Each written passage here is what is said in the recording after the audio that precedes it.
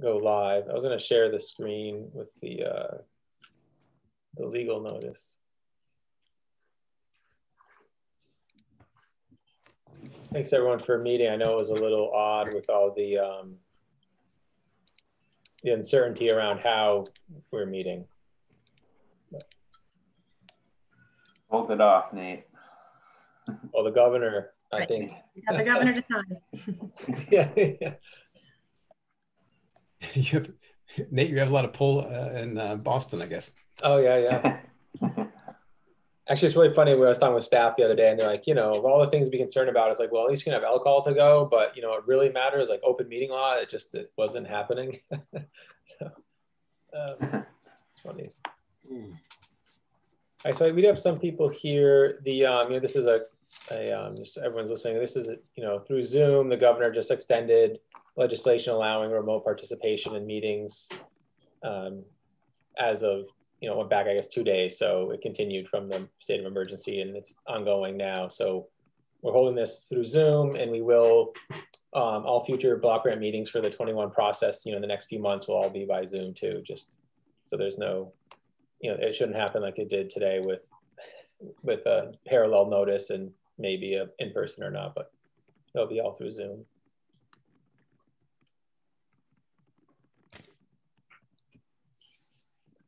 I think this is it, Gail. So when you're ready, we have um, you probably introduce the committee and Okay. uh, only have five members now. I'm just looking at who else is Okay. And um, we're, it, because it's being recorded, we don't, are you taking, still taking notes? I think yeah, we still have to type minutes for this. I think Ben might be, or we use the transcript. from Correct. Yeah. Oh, Ben's the scribe. Okay.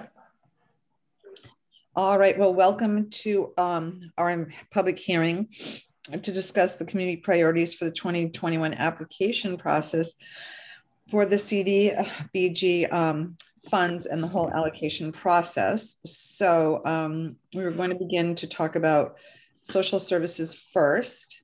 And um, how do we want to go about with participation from those in attendance? Um, Nate. Yeah. Um, well, Gail, do you just want maybe we introduce I'm ourselves sorry. and then um, Yeah, I'm sorry. This is the committee. Um, we'll go down. I'll start at the top. I'll, I'll introduce myself first. I'm Gail Lansky. I'm the chair of this committee. And um, above me is Becky, who can introduce herself.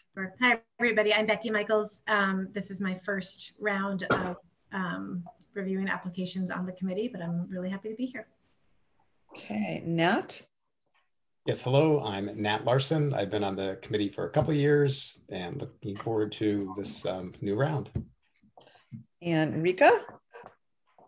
Hi, I'm Rika Clement. I'm also new to the committee, so this is my first round and uh, look forward to it. Thank you. And Lucas. Yes, hi, Lucas Hanscom, um, also new. And I will announce that Paul Goulston, who's been a member of the committee for maybe four or five years, um, submitted his resignation today. So we will discuss um, the implications of that later on. And just for everyone listening, there, I'm Nate Malloy, a staff person, planner with the town, and then there's Ben Breger, who's also a planner helping to staff the committee. And this hearing is being held as part of the 2021 grant process to um, hear community priorities for funding. Uh, the committee held a hearing uh, a few weeks ago that also had um, this discussion, so it is somewhat repetitive, but it's just a chance to get everyone else an opportunity to speak if they didn't. Um, you know, I'm, uh, I think we've emailed everyone, but just to give a quick update, the state, you know, first was not going to hold this 21 process, and then they decided to have one um, somewhat abbreviated during the summer. So it's June through September. So we have, um, you know, we're having outreach tonight. We're trying to get the request for proposals out and due by the end of July. The committee will review and make recommendations in August, and then we have to submit, the town has to submit its application to DHCD uh, by September 10th. So it's a pretty quick process this year. Um, and then, you know, the 22 process, which usually st starts in the fall with applications due in the spring, I, I think may happen at that time. Um, the state's considering maybe pushing the 22 process back into the summer like it is now. Um, but for now, um, it may just be, you know, we apply, this funding becomes available earlier than usual, and then, or at the same time, and then we apply for the 22 process. So it might be a quick turnaround between two applications.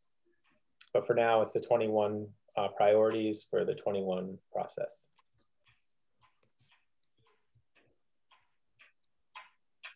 So are we going to hear from um, participants in the in the audience regarding social services? Yeah, I think yeah we could. Um, if you if anyone raises their hand, I think you know the, the order they raise their hand and they just populate, and we can go down the list, uh, Gail, and then you know we can provide uh, opportunities that way. All right, and then somebody named Marta Alvarez um, is in the chat, and she is a part-time volunteer at Olympia Oaks, and Caitlin invited her to the meeting. So I'm not sure um, where we fit her into the list of speakers. I think she could speak just, you know, to any, if she's if asking about, you know, discussing social services or any priorities, I think she could speak to any of those. Um, okay, but in, in, as far as where she is in the queue, I guess that's my question. Oh, um, I, I don't, you know, if she raises her hand to speak, Marta, that's fine. I mean, otherwise, um, you know, I don't, unless there's a reason she has to leave early, but. Okay. Uh, and there's, you know, there's 17, uh, well, I think it's, oh, yeah, actually there's 17 people in attendance, so it's a, it's a good turnout. All right. Gail, can I ask a question before we get started? Yes. Is that okay? So I just want to clarify. So what we're doing tonight is determining what priorities we're going to list in the social services section and then which priorities we're going to list in the non-social services section, correct? So what the public would be speaking to is the priority, not to what their own agencies do tonight, but the priorities they believe should be there, correct?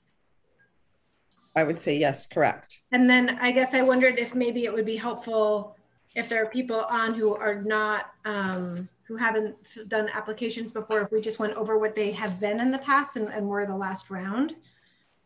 Um, um, Nate, can you put up, do you have the opportunity, do you have the, um, not the opportunity, but can you put up what our priorities were for um, the last round? Yeah, so I think you know this the, the public notice is is it that viewable right now? So we can I'll do a new share and I can show the um, the previous uh, social service priorities if that's what we're speaking about. Good suggestion, Becky. Thank you.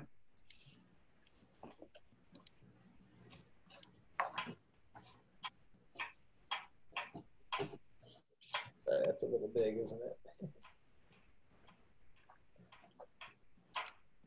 and so, you know, and then, you know, after the public hearing, just for everyone listening, the committee, um, hopefully we can finalize the, uh, the request for proposals and they can be um, ready this week by the end of the week. So these are the, you know, the, and, number five, those were the, uh, those were the priorities that we had discussed you know, had last in the fall, you know, when we thought we were doing our 21 process. So. And I, I, guess I would just say, I don't know if the rest of the committee would agree, but what I'd be most interested in hearing um, is whether people believe, whether anybody, members of the public believe that any of these shouldn't be on this list or whether there are any categories that they, th they think should be added to this list. I think probably we all agree that all of these are really important and don't necessarily need to hear why these particular ones are important? Mm -hmm. Yes.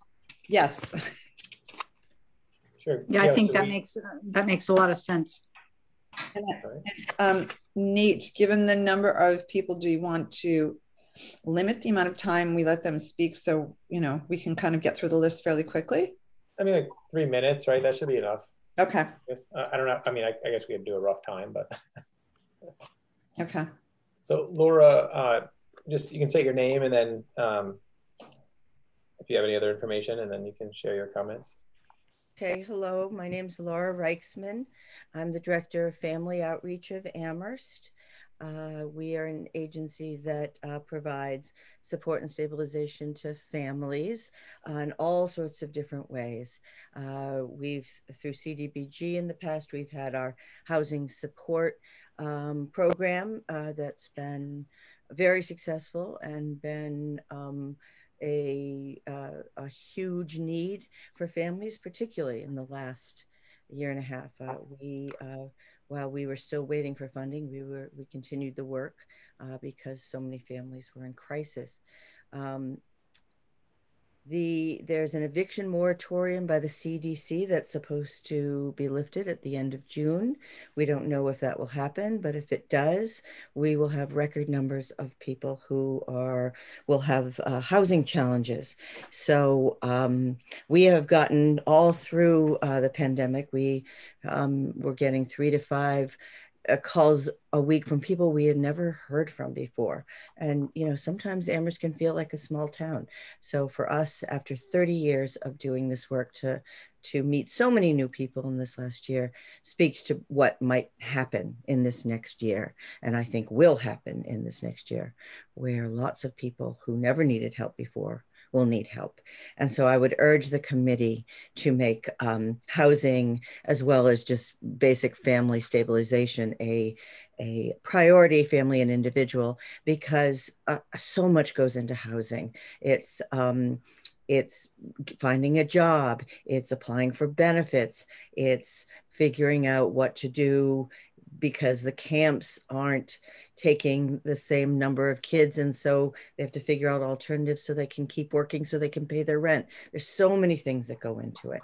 And um, and they need our help and we need um, we need cdbg funds to support these amherst residents. So that would be my that, that those are my two cents. And i hope i was under three minutes. I think so. Thanks laura.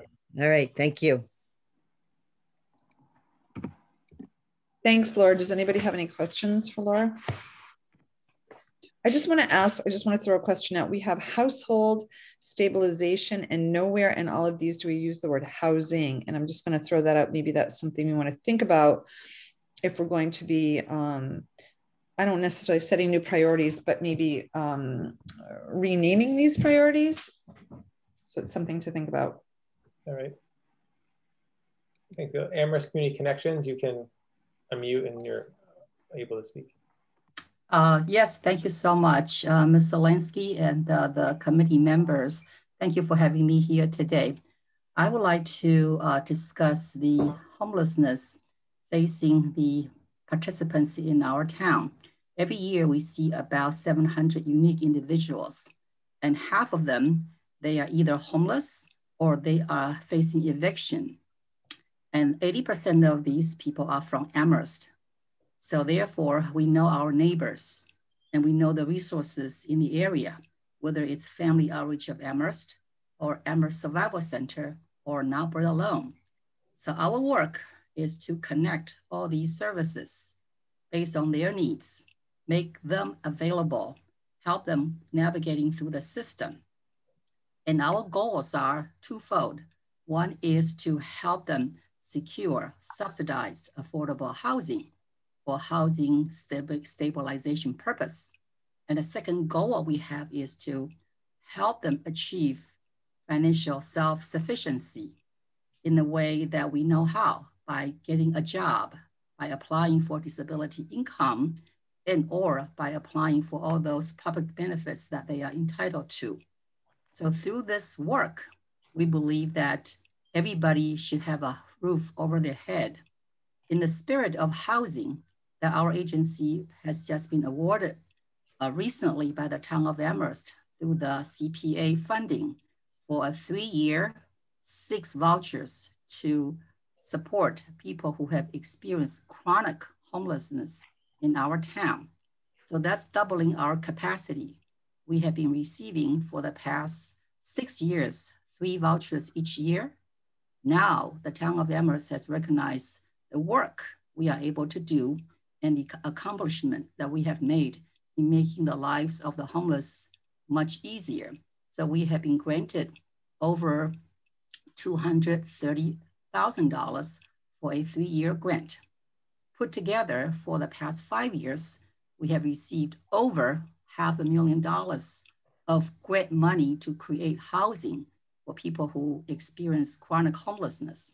And yet, in those five years, we have no money to do the support service that's so crucial in order to help the chronic homeless achieve the housing stabilization and financial self-sufficiency. And we had to do hard work, but thanks to your support, for the past two rounds, we were able to receive CDBG social service funding to support the men and women in our housing programs. In addition to the Housing First program, also we have a rapid rehousing. Wei Ling, you have one minute left. Okay, thank you.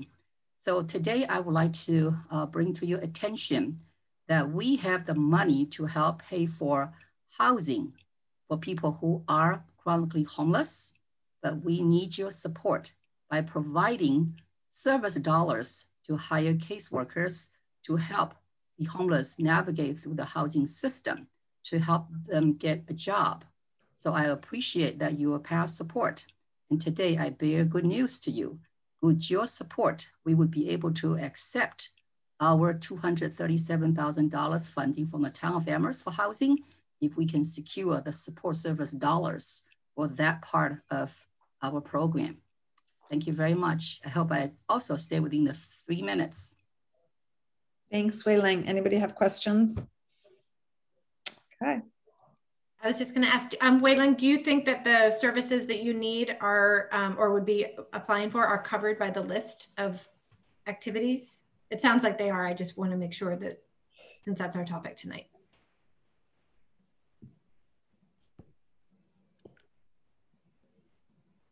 Wei Ling, I think I, I disabled your talking, but I think you're available to talk Okay. Now. Thank you, Ms. Michaels, for your question. Actually, our request will cover three areas here. One is the individual stabilization. That's area because we help them stabilize their housing situation and their living situation. And our service will also help them provide service to those who experience homelessness. And the third, but not the last, is we help them achieve the economic self-sufficiency by helping them to achieve, secure employment or offer them opportunity to get certificates to uh, get a better job. So these are three areas our support service that we are applying will cover.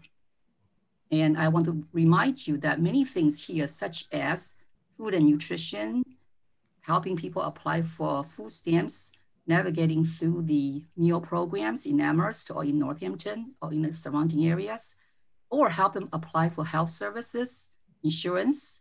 Those are things that we can provide in our service. So I'm sorry to interrupt. I guess my question was just to make sure that that you saw things on this list that you're you, that you would be applying within and it sounds like what you do meets a lot of these things but yes i want to uh, thank you for your insight uh, many of these services are really covered under the employ in, uh, benefit specialist we have in-house to help them apply receive the benefits such as health insurance or contacting uh, the elder services to help them provide service for the seniors. So it's a one-stop resource center that you are funding for to cover several of these areas. Thank you. Thank you. All right, there's um, Michael. You can unmute yourself.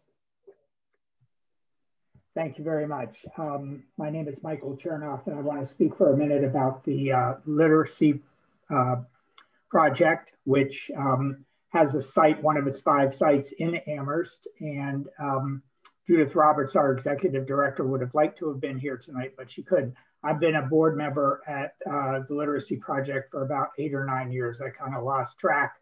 And I also have been a, am a math tutor at the Amherst site the Literacy Project provides adult education. So um, I think both the economic self-sufficiency and the household stabilization criteria on your list are applicable to the Literacy Project. Our ultimate goal is to get people their uh, high school equivalency diplomas, um, but also to provide basic literacy uh, services. We have people who basically will say things like, I remember very distinctly a woman saying, I just want to be able to read a story to my grandson.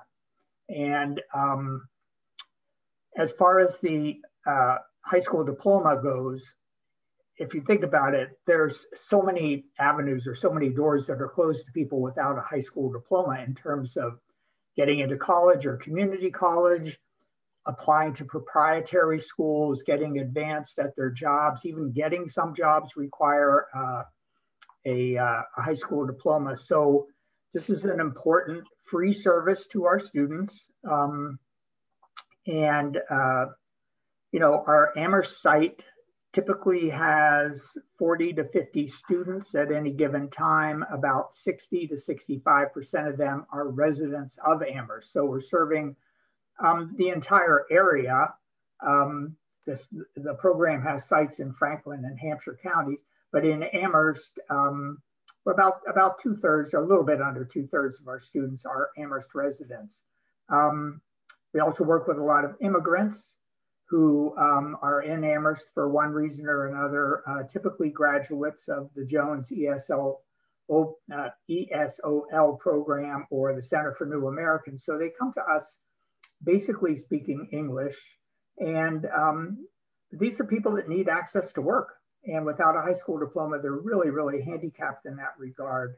So I think it speaks obviously to adult education and economic self-sufficiency, but also I mean, a job is a, an important stabilization force for any individual or, or his or her family.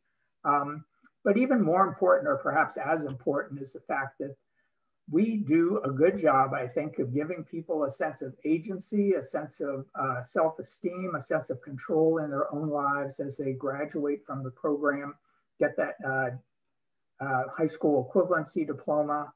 And um, these are people that did not not have success in school and for whatever reason they were not able to continue their education and that's our job is to you know help them finish that process we have a budget of about a million dollars a year the uh, state education department funds about 65% of that but it's been a decreasing percentage year to year and so we are increasingly dependent on grants from you know, uh, towns and cities. We get grants from most of the other towns in which we operate, like Northampton and Ware and, and Michael, your your time is uh, you have about 30 seconds left. Oh, okay.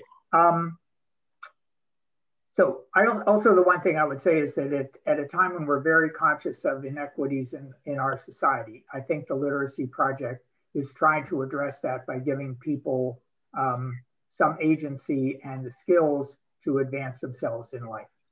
Thanks. Sorry. I wasn't watching my watch. Thank you, Michael. Anybody have questions for Michael?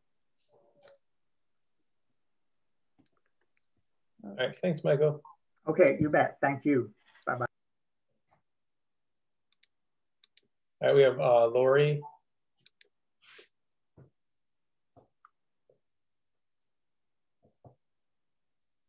Hi, Lori, if you unmute yourself, you can speak. Lori Millman. Okay, hi, thank you um, for giving me the opportunity. It took me a minute to find the uh, unmute button. So I want to talk to the economic self-sufficiency um, standard because it actually names adult education and job training as a way to help people attain economic independence. And I feel like that's what we do and have been doing with CDBG funding and other funding. Um, and uh, so we, we teach English and we teach um, navigating skills and we teach um, confidence and we connect people to resources and we have advisors who help people look for and apply for jobs. And we've been remarkably successful. Um, we actually have um, one former student working in the Musanti Health Center, and it looks like the health center might be about to um, hire another one of our students. Um, we also train people to be nurse aides and personal care attendants, and these people get jobs almost immediately. Um, we have been working throughout the pandemic, like I'm sure everybody else here, to bridge the digital divide and have purchased and delivered hotspots and tablets to keep people connected. Um, and we help people connect with all the other social service agencies that are providing a safety net, um, whether it's uh, Family Outreach of Amherst or the Survival Center. Um, we actually sort of link arms around all of our students. There are a lot of refugees and immigrants living in Amherst. If you look at the Amherst Public School demographics, you will see that um, English language learners continue to outpace the state. So you've um, supported this program. We think it's a shrewd investment. It leverages funding from the Massachusetts Department of Elementary and Secondary Education. And um, people stay in our classes and then they go on and go to Greenfield Community College um, and they're and they're working. Um, the folks we work with are the original entrepreneurs, right? They've left everything they own and started fresh um, and tend to be successful. So thank you.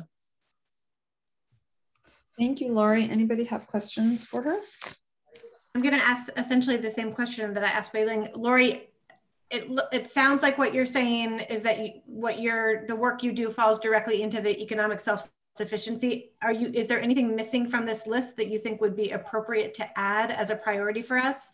Since tonight we're not considering the specific program, we're looking at what priorities should be listed.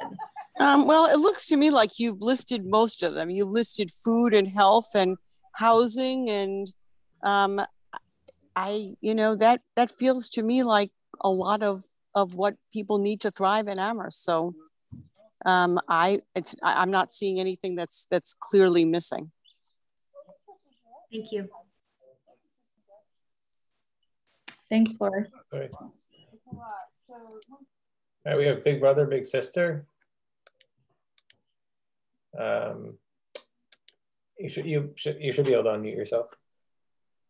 Hi there, this is Jessie Cooley, and I'm the director of Big Brothers Big Sisters of Hampshire County, and um, we're based in Amherst. So we have a couple other people that wanted to share their experience with the program. So I, I will try not to take the full three minutes here.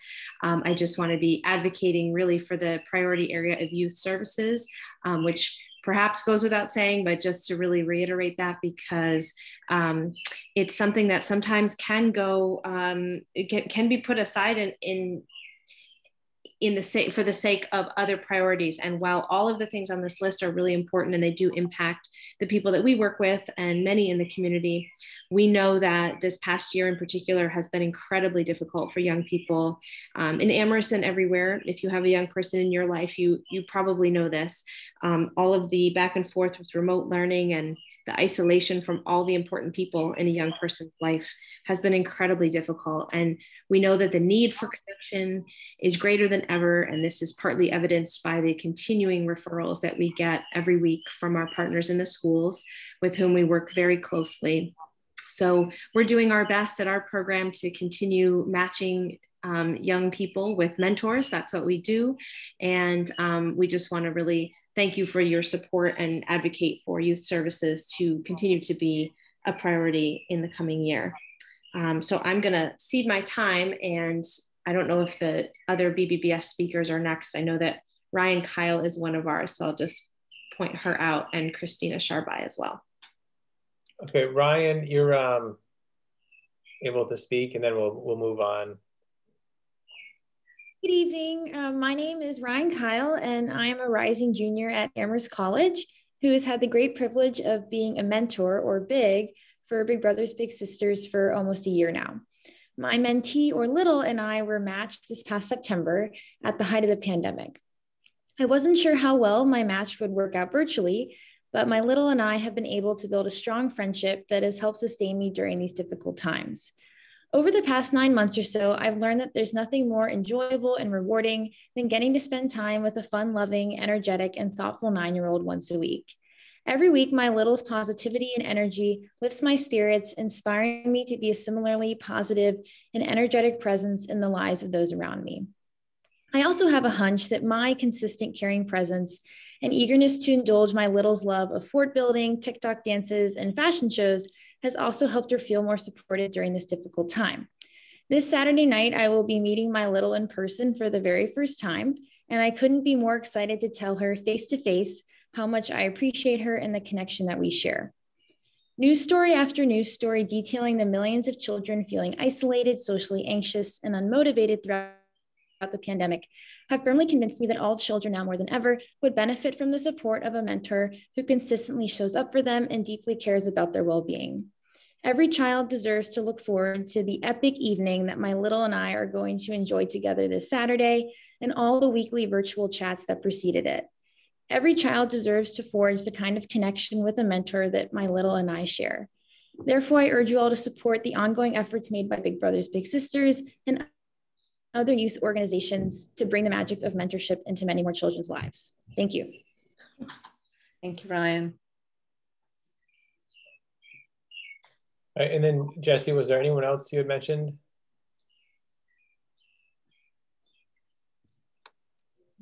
Um, am I able to speak still? Yes. Okay, great. Sorry. Um, so I'm not sure that everyone will will still need to. I understand that you're trying to keep it brief. Um, so I'm okay. I'm getting one text about that. So Christina Sharbai was is one of our staff members, and I think she's on. Sure. Hey, Christina, you can unmute yourself. Hi, I'm Christina Sharbai, and I'm a case manager. And my work involves um, creating the matches. And what I want to say is that so much uh, manpower goes into creating those matches, and that we have a long list of waiting list of children, and we're, we're recruiting loads of students and people in the community to match them to littles. And by having, um, we're short of case managers um, at this time. And by having, and I'm part-time, and by having the, the, the work power, the workers' power that we need, we can create more matches. There won't be anybody left on a waiting list if we can continue doing this work um, to the capacity that it needs to be done. So that's basically what I want. My perspective of it is the funding helps us to do the work that we have to do. We do wraparound support, not just matches. We, we have to contact every family ev- once a month, once a month. We help our families. We even this week took food from the pantry to the families that cannot leave their home because their children are small and they have to be uh, at school and uh, remotely, so they can't leave their house. So we do a host of things to support the families.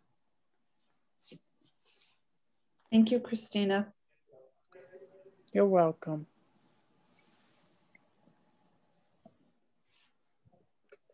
All right, I'm going to, um, thanks Christina, Ryan, and Jesse. I'm going to mute you and then we'll um, go to the next person. Thank you so much. Sure, thanks.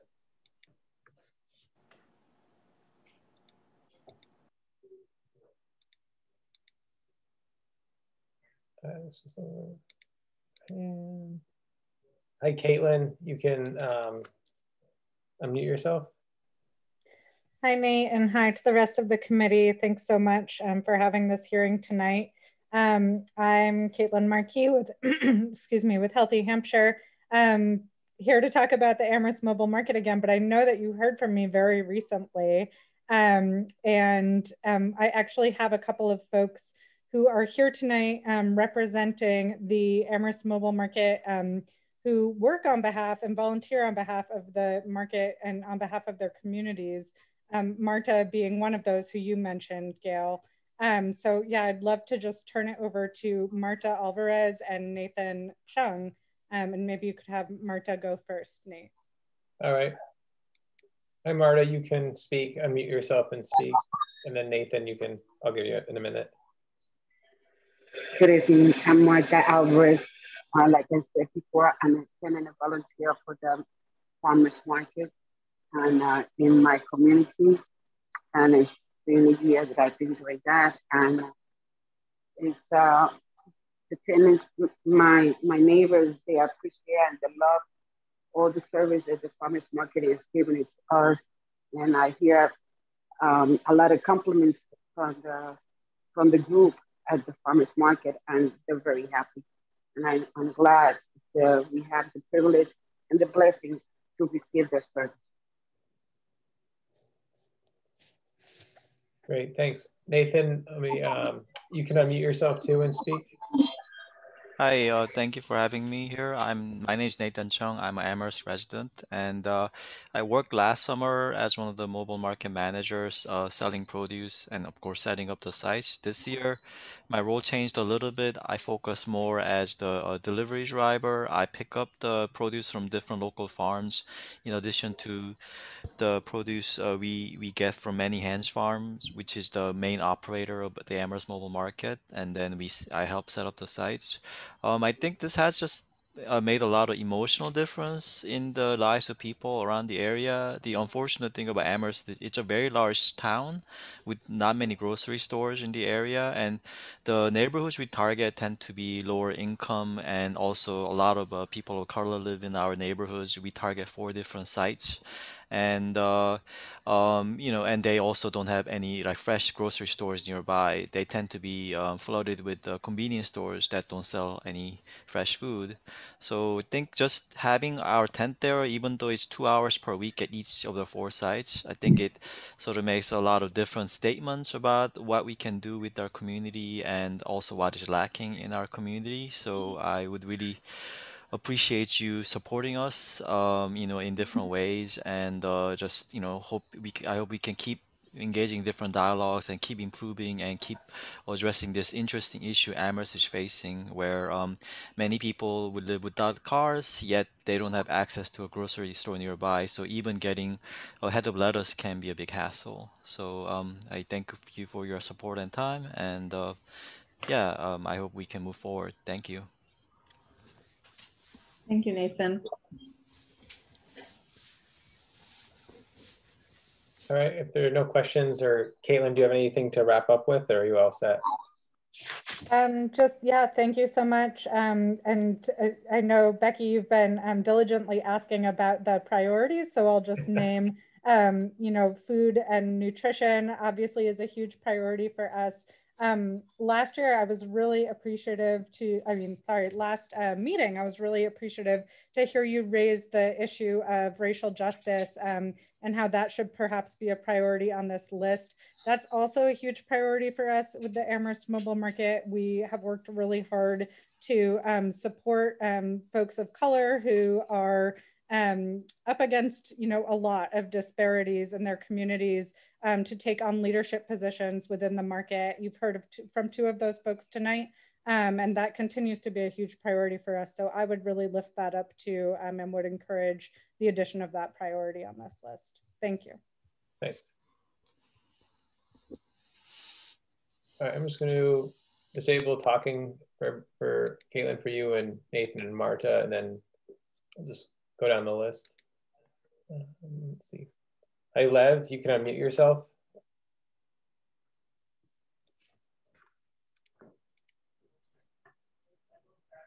Great, thank you so much. Um, thank you to the committee for having from um, hearing from all of us. I spoke at the last CDBG hearing that we had about priorities that I was really seeing in Amherst, including temporary housing, shelter, and other supports for people experiencing homelessness, youth development, and family support. And certainly my strong opinion that food and nutrition needs to be a top priority for the upcoming CDBG application project process. I don't want to reiterate the comments that I made last time about the really significant ongoing food insecurity need.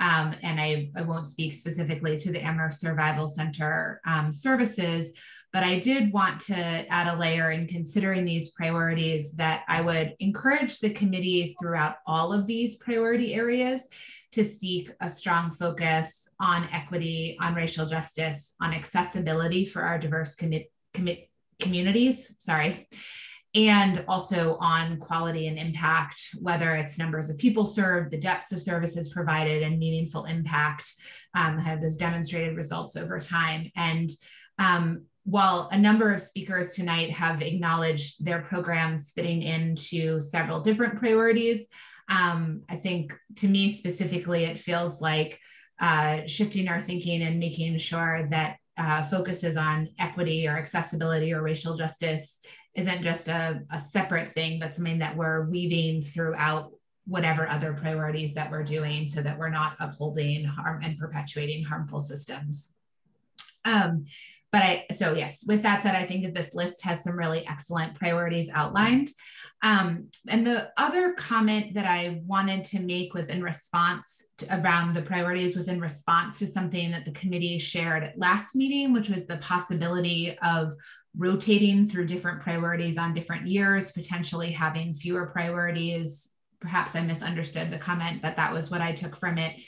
Um, and I wanted to respond to that tonight by saying that from a community impact standpoint, I think that having those kinds of rotating priorities or priorities that are rapidly coming on or off the list, separate from needs really changing in a meaningful way in the community, could result in significant instability in key organizations, which could have the potential, or I think would almost guarantee reducing the impact of those programs. Um, and that I believe a key aspect of social service impact and long term community change has to do with ongoing presence, relationship building, really meaningful engagement of communities and responsiveness of shifting needs rather than resources coming and going and people not being able to rely on them.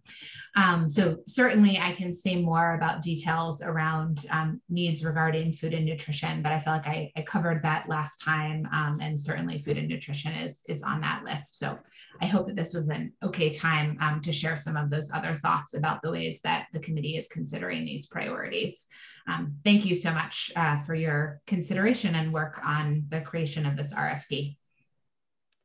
Lev, thanks so much for your input. It was um, nice to hear comments referring to what we discussed at the last meeting and especially around rotating priorities. It's a question we seem to have from year to year and just kind of keep going forth, but having you weigh in as a community member and the director of an organization is very helpful. Um, any questions for Lev? I don't have any questions, but I just wanted to say thank you so much for those comments. That was really helpful. Great. Thank you so much. Yeah, thanks, Lev. Uh, uh, Jim, you can unmute yourself.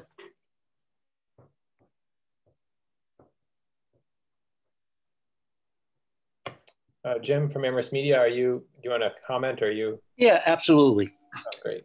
Thank you. I just had to shut off the air conditioner because you wouldn't hear me. and I'm up in an attic. I want to thank the committee for having this opportunity for the community. Thank you. Um, I've really enjoyed listening to the the directors and the uh, people involved with so many of the great community uh, organizations in Amherst.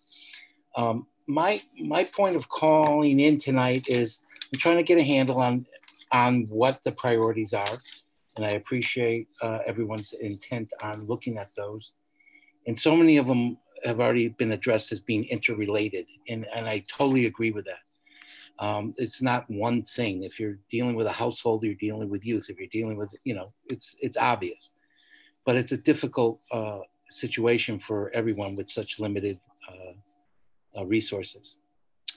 Um, Amherst Media, you know, we've been up in the community now for 45 years as a nonprofit community independent media center. We're the oldest nonprofit access center in the country. And I've been director, executive director for 14 years, and never have we applied to a CDBG grant. And because I believe that everyone really needed every dollar that's out there. Um, we'll be submitting an application this year. Um, because we've lost so much funding. And I'll be honest with you, it's uh, the impact of that has been um, cutting back on our coverage of the public and of the training of our, our youth, the training of our citizens. And, and it, just can't continue. A lot is demanded of us to cover government, which we do, but our contract also covers, we're supposed to be doing a lot for the community, and we just don't have the finances to do that at the moment. So I'm just making that comment today. Um, I do um, really uh, believe that um, we can be uh, exceptionally helpful. We do a lot for all the organizations that are willing to be helped and, and getting their messages out but more importantly is that I think there's a lot of families that can benefit from what we're going to be able to offer. So I just wanted to take this moment to, to uh, let you know that we will be coming in with a, an application. and as far as I know that the meeting tonight was specifically supposed to be looking at your um, designated areas of interest. And it's so difficult. It, it really is. Um, I'm just being honest with you and having a long history of being uh, in community organizing and, and it's everything is interrelated and it's only been compounded as we all know. So um, if we can think of any other ways to work, I mean, I'm looking at your, your type of activity and I love the one that says other, please explain. I'm, I'm not sure how to do that. So uh, thank you. And I appreciate the opportunity to speak to you briefly. And I really enjoyed hearing everybody that spoke so far. And um, I look forward to talking to you later. Thank you. Thank you, Jim.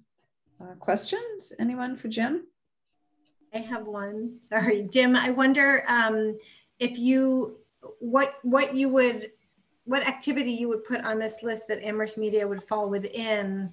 Um, it, sort of sounded like you're kicking other. Please explain back to us. But I think I would ask for, from you whether there's a particular activity or priority that you would ask to have be on this list that would cover what it is that Amherst Media does for the community. Well, um, I thank you for the question. It, it's a combination of youth services, economic self-sufficiency as they exist, which also impacts the household. But I mean, I've been pushing broadband for quite a while and, and municipally owned broadband. Um, that's not what this application will be about, but I think there's a need to educate and those community families that uh, over 100 families and they had to have uh, hotspots and, and, done is that we have to get them trained as a family as the individuals to to learn how to utilize that to be able to access the important aspects of their life whether it be health employment so it's a combination of that i mean i don't want to I, I don't know it's like splitting hairs right it's it's a common as i said everything has kind of interrelated so I don't have a clear answer to you, but thank you for the question. Thank you. All right, thanks, Jim. I'm going to um, disable your talking and then keep moving down the list.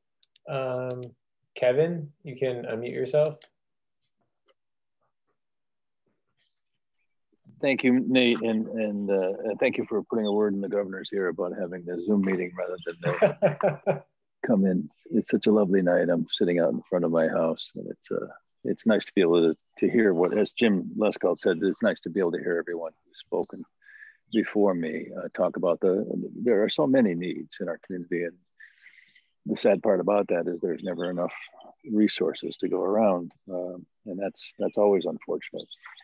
And um, as uh, Laura Reichsman said, that with the eviction moratorium going away, and there, there are roughly 2,000 evictions in progress right now in Western Massachusetts.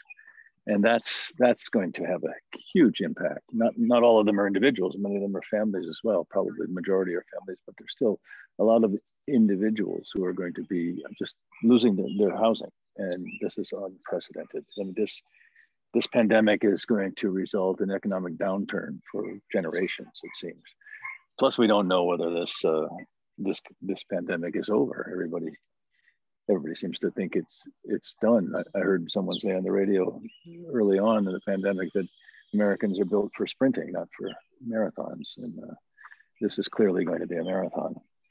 So, as a result of this pandemic, we had to double our, our output or double our numbers, and uh, we were able to do that in three sites. We were able to uh, rebound from the, the, loss of one site to finding a new site at the Unitarian Universalist Meeting House, where we've been able to house 14 individuals. Uh, we then opened a site at uh, the University Lodge where we can house around 20, 22 people, or right now we have 24, uh, actually 26, sorry, uh, at that site and because we've had a higher vaccination rate as well, it's been about 50%, which isn't great, but it's certainly better than most.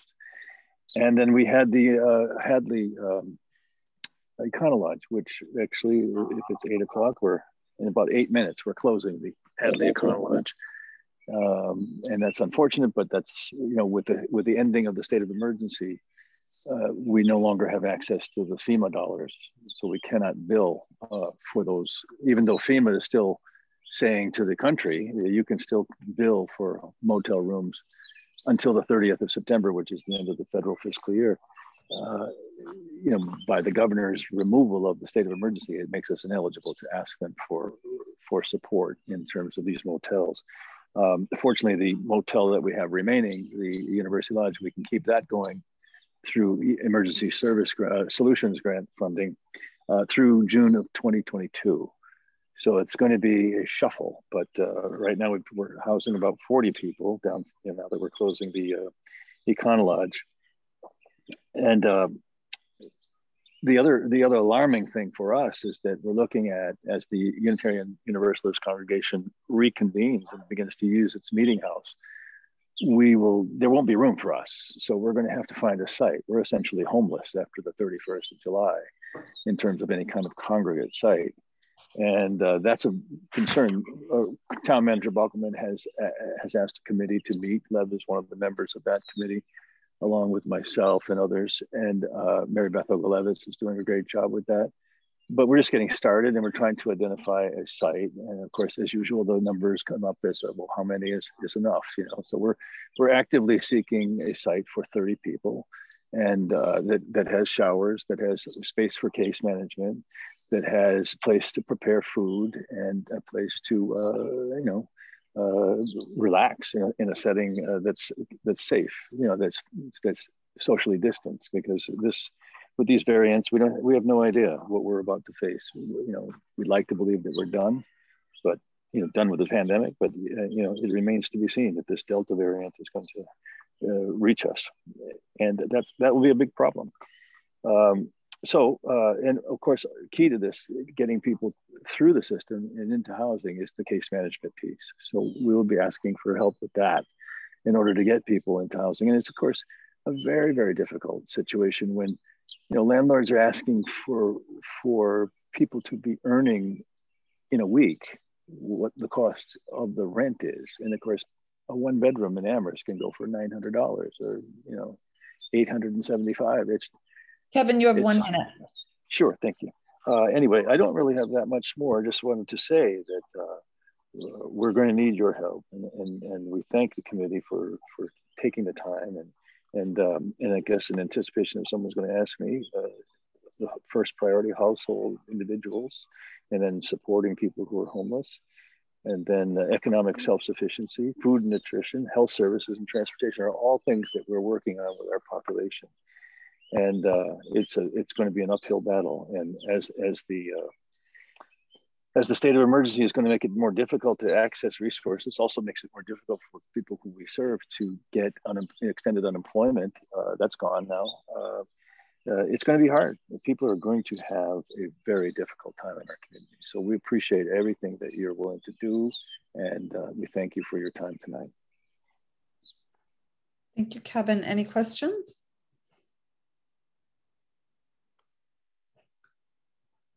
All right, thanks, Kevin. I'm going to, uh, let's see. Um, looks like Amherst Community Connections, you have your hand raised again. You have a. Yes, um, thank you so much for the discussion that I wasn't uh, privy on last time because I was away about rotation idea. And that's an idea I have been thinking about for quite a few years. In the past, I've written to the committee about, you know, making this a little bit broader to cover more agencies. And I have three reasons that I would like to support the idea of rotations. And the first reason is that to cover more needs that experience in different sectors. For example, that uh, Jim from the Amherst Media talking about his agency's needs. Normally, in the past, we have done a quick study out of the agencies apply your agencies apply 10 times, get funded 10 times, and your agency, you know, apply 10 times and never been funded. So the constituents are covered by the agency who never get funded, therefore will not be taken care of. So by rotating your grants, you might be able to cover, reach out to more people who have needs are not those top five. And the second reason is that contrary to what Liv thought, in my experience that if there's a rotation that five agencies know this is a given year, for example, they will be receiving the grant. So there is the planning ahead of time. Next year, I know, for example, that our agency will not be covered. So therefore, I can go ahead and apply for other fundings because of the anticipation. So therefore, in my experience, there will be more stability contracts contrasting what Liv uh, experience. So that's my own experience. And the third reason I want to mention, the reason I would prefer the rotation is really it encourages more innovation, creativity, and more willingness to go out, try something different, try something new. And I will not be uncomfortable to talk about the innovation that we have. For every dollar that you give us, $37,000, I calculated, we reach out to the community. We bring in $7. And those $7, if weren't because the seed money you give, I wouldn't have that innovation to go out get them. But during the years when your agency, when your uh, funding doesn't come through, I was able to build on those innovative methods. I know how to cover the needs of the population we are working. So therefore the innovation is built into the system because I know we still need to help people who experience housing crisis and we are not willing to give that up. So therefore my method of dealing with that is by being innovative. So I seek out interns in colleges in the area and they are so savvy technology wise.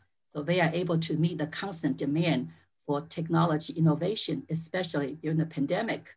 Everything is done online, everything is done remotely. How do you apply for housing by using uh, the Adobe Reader? Well, I don't know how, but they know how. So that's the innovation part. I feel the rotation system will help to create.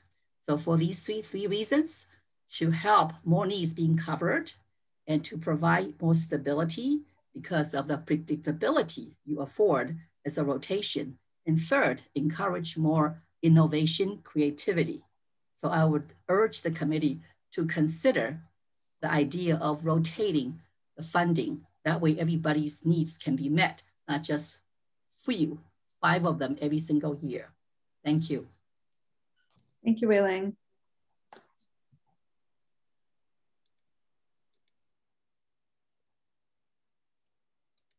All right, I think it looks like for social services, Gail, there's no other hands raised. The um, we could move on to non-social services if the committee would like. I'm just going to share the screen, a new share. The um, um, you know, so we can, you know, the town is only allowed to fund just for the audience to, um, you know, up to five, a maximum of five social service activities, not just programs or activities in a grant uh, year um, and it can only be up to 20% of the application amount. So there's a, you know, a, a pretty strict cap on that. The, um, for, for social services or non-social service activities, we have to target to specific areas in, in a town that are also areas where the communities has um, other projects, whether it's, um, you know, public infrastructure or where things are happening. So, you know, the last few years, can, can everyone see the map of the of the um, of the community. So the you know the the few areas we've had are the town center outlined in red, the East Amherst Village Center in orange, and then Pomeroy Village Center, which is pretty you know relatively new, and um, I guess that's like purple or magenta. I'm not sure what it looks like. Um, and so that's about you know we I think that's you know we can have two or three target areas at most.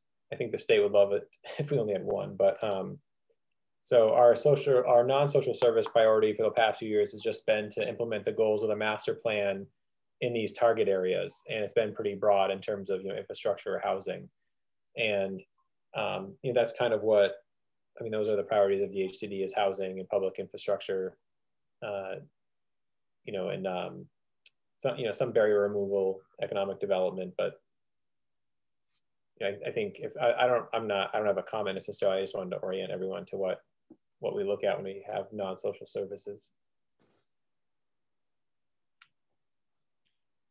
Um, so I guess, you know, Jim, you have your hand raised. Is there anyone else who want to comment on the non-social service piece?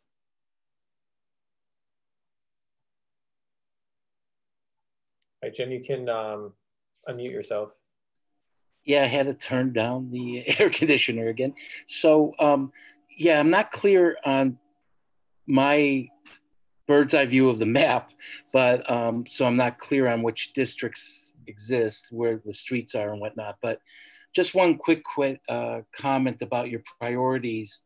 I went on the state um, site and what was uh, eligible, and I noticed that there was an eligibility for public and community facilities. And I'm just putting this out there. It's very obvious that Amherst Media has been trying to build a new facility because of our eviction of our existing location. Um, and I don't know whether you've ever had that as one of your priorities, but um, it would definitely help people like us trying to build a public community facility to get some community development block grant assistance. Um, so I just wanted to put that out there to you. Um, is there any feedback that I should get, or I can just leave that as a message to you? No, I think that's a, um, yeah, I don't, I think the committee takes, you know, like we've probably seen in the social services, kind of a broader approach to priorities. So when we say public infrastructure, I guess we could say public facilities. It's not, you know, um, so I think that's a good comment. You know, some communities, for instance, are very specific in their priorities. You know, they might just say like paving Main Street. And so it's like, okay, well, we're, we're only going to get one proposal to pave Main Street. Um, whereas, you know, we have it, the town has it a little broader and we try to have it based on these uh, target areas. So, um, yeah, so I think what you said, um, you know, we could, when we look at, I might just do a new share to show the language. Um, so what we've said is if, if, if um, you know, committee members and the public can see it, we usually say, you know, the goal is to meet the community's master plan in these target areas. So we don't really, we're not, we're, I think, I think it's actually pretty inclusive uh, rather than exclusive. And so what DHCD then does, sorry, just to go down, bear with me for the scrolling. Um, they have these categories. So we then define um, rehabilitation, acquisition, demolition, infrastructure, public facility, which is, so that's there, then architectural barrier removal. So then these are the categories that they like to see an activity um, be included within. So I think, you know, we do have that ability there. Okay. Um, if I could just ask, so are you saying that the, that one, the target area does, we are part of the downtown catchment area, if you will? Right. I think, um, you know, Jim, I'd have to look into the eligibility of, you know, I guess we, did, we could, we can discuss more of what Amherst Media would be applying for and how that would be eligible. Um, you know, there's a difference between a social service and a programmatic um, activity and then a physical, you know, oh, building, yeah. um, you know, what that means. But as a physical, that's, that's why I'm bringing that up. And I'm asking whether that is something that's been either used utilized in the past or being considered this year as it's been it's been used in the it's been used in the past but then typically the beneficiaries of the facility have to be a majority lower moderate income. So for instance we've used the the block grant money to help fund affordable housing or you know a daycare center where uh, half the uh, participants have been income documented to be lower moderate you know income to be eligible. So it has been used in the past. It's just a matter of kind of the details of how it can meet a national objective of the block grant program. Well, I understand that. Yeah. I appreciate that. And, you know, maybe we should pursue that to see whether that's a reality in this application or not. Right. Thank you. Thanks, Jimmy.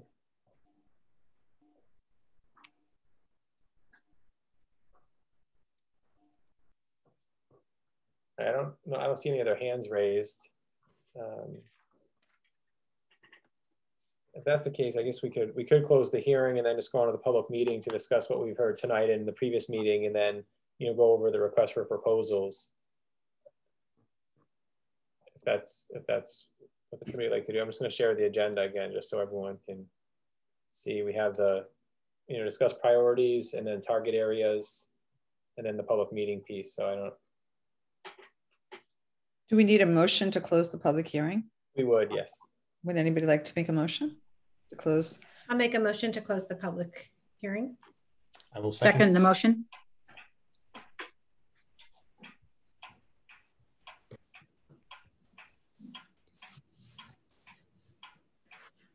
then the vote has to be by roll call since it's through Zoom. So yeah, you just want to call out the numbers and we can. Okay. Uh, all present and accounted for are Becky, are you here? Yes. Rika Clement, are you here? Yes. Matt Larson? I am. Lucas Hanscom? Yep. Yes, I am. I am here. And so all would all five of you like to close the hearing? I guess that's the Yes. Yes. All in favor? Yes. any any right. discussion or anybody opposed? All right, great. So I think, you know, for the committee, you know, I don't know if you want, to if it's easier to start with the non-social service, if, uh, if there's not as much of discussion or, or you know, what you want to, what you'd like to do first. Um, you know, I didn't get any comments. I think previously so there had been a few comments about the documents and I think those were try to be incorporated. So I didn't really get too many comments in terms of what to change. I think, you know, my thought listening tonight, um, you know, what Lev said about, uh, sorry, I was just get my notes, like um, the accessibility of programs and the impact and the equity piece, you know, there is a criteria about impact. And so we could, we could add, you know, the racial equity piece or, you know, something about, you know, having in that description, you know, what how the how the organization, how the impact, you know, meets that one piece. Um, and so, as opposed to having it be a separate um, priority, it becomes part of the review criteria. So you know, becomes something different. You know, you know, it gets interwoven that way as opposed to being its own priority. So that, that was something I was thinking when Lev was speaking. So I'm sorry, Nate, are you talking about the non-social service or the social service right now? Uh, it could be both. You okay. know, so I think um, let me just, if we uh, go back to the social services, sorry, I'm just gonna, uh, just gonna scroll a little bit. So when we ask, you know, so these, you know, all these categories are a local decision, and then also a lot of this mimics what we have to submit to the state. You know, so they they review proposals based on this information, and so we have a product description, need, uh, community involvement and support, feasibility is a big one, and then impact. So my thought is under this impact or one of these, we could write, we could we could ask the question about, you know, how does the program how is the program accessible to, you know, we could say diverse populations or something, and what and how. Um, I'm just trying to see what we actually say. Um, you know, we could say how does it advance equity? You know, so I I mean, I'm just throwing that out there as a possibility if for the committee. I, I was just thinking that when Lev was saying that about how to make it integral to a, every proposal. I guess I would I would advocate um, for listing it as a separate type of activity, just to show it can be a standalone activity and to emphasize you know the importance of it. Um, and just looking at the various categories that we have in the ranking criteria, they're all very you know kind of neutral with respect to any of the types of activities. So I'm not sure it'd be that helpful to add a ranking criteria item that is, you know, more of a you know substantive goal as opposed to more of a kind of a neutral ranking of the project that you know meets a goal. Excuse me, uh, is it possible to um, not screen share so we can see each other? Oh yeah, I can stop sharing if that's possible. Okay. I just find it difficult. I no, no, I, I, I would um I would prefer to have it be um, a criteria by which all um, agencies that all agencies speak to um, the racial equity because I believe it should be integrated into what we're doing in in all parts of our life as opposed to a standalone. So I, I like your proposal, Nate. I think it could actually be both. I mean, we could add it as a type of activity so that if there's an organization that specifically does that, it's there. And then we also, I agree, Rika, that it should be in every application should address it. And so it should be in that list under so, impact. So no, so as opposed to coming under impact, it would be its own item to be as part of the application. I'm talking about as the application process. As a priority, we're saying now, then it would be a priority. As oh, going back to. Okay. Yeah. Okay. And possibly a, a criteria review criteria. I think that's a, a discussion the committee can have. Um, you know, it seems like most of the categories we have, people spoke to. So, you know, I don't, you know, I think uh, Rika, there was one that we did mention at the last meeting, which may have been, um, I was going to ha have another, I have a lot of documents open, but one was, um, I think it was just like social services in general, or I, I forget how you worded it. Becky, you had mentioned, I wrote it down, it was mental health services. Yeah, mental health services. At, at, the last meeting, a couple of different people talked about mental health services, particularly for children. Right. But nobody raised it tonight. So maybe, I mean, I don't right. know. You know, and then also like, I'm not sure that anybody raised health services and insurance navigation tonight as a, an, a topic. So I don't know whether we take that off for the year, you know, or if it still seems. But I think Wei-Ling sort of mentioned health services. I mean, I think kind of what Amherst Community Connections does. Okay. They talked about wrap, wrap around. Yeah, I mean, this is like a multiple choice uh, quiz. And so usually when we submit an application, we can only select one. Um, you know, they might be able to select many for the town, but when we submit to the state, it can only be one, you know. So for instance, um, you know, like um, Amherst Community Connections, I think the state, they have a category that says support service for homeless.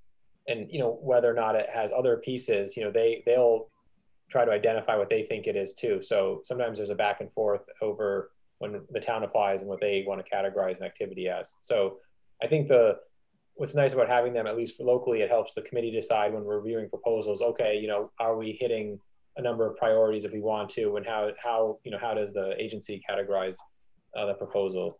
So, um, yeah, I think the health service director actually at one point talked, spoke with me and said that the health navigation is still a really big issue, you know, and with the New Sandy Health Center, kind of that's a, you know, one of the reasons it came to town. But I feel like with the other category, we're not closing the door on someone. I guess the question is, you know, do, would we elevate, say, for instance, like racial equity or advancing equity as a priority just to call it out, you know, just so that it's, people could be aware of it as something that's available. Um, I think that's what was you know discussed last time. I think it should be added. Do we mm-hmm. have to have a majority vote to add it, or it's just a? Well, maybe we should talk about what exactly it would be. I mean, right. whether it's advancing equity or addressing racial disparities, or just racial justice as a topic. I mean, I think there's so many different ways of phrasing it. Um, right. I would I would think as as broad as as possible because right. you never know what kind of proposals might come in. So just you know simply racial equity and justice would be a very you know big tent. Yeah.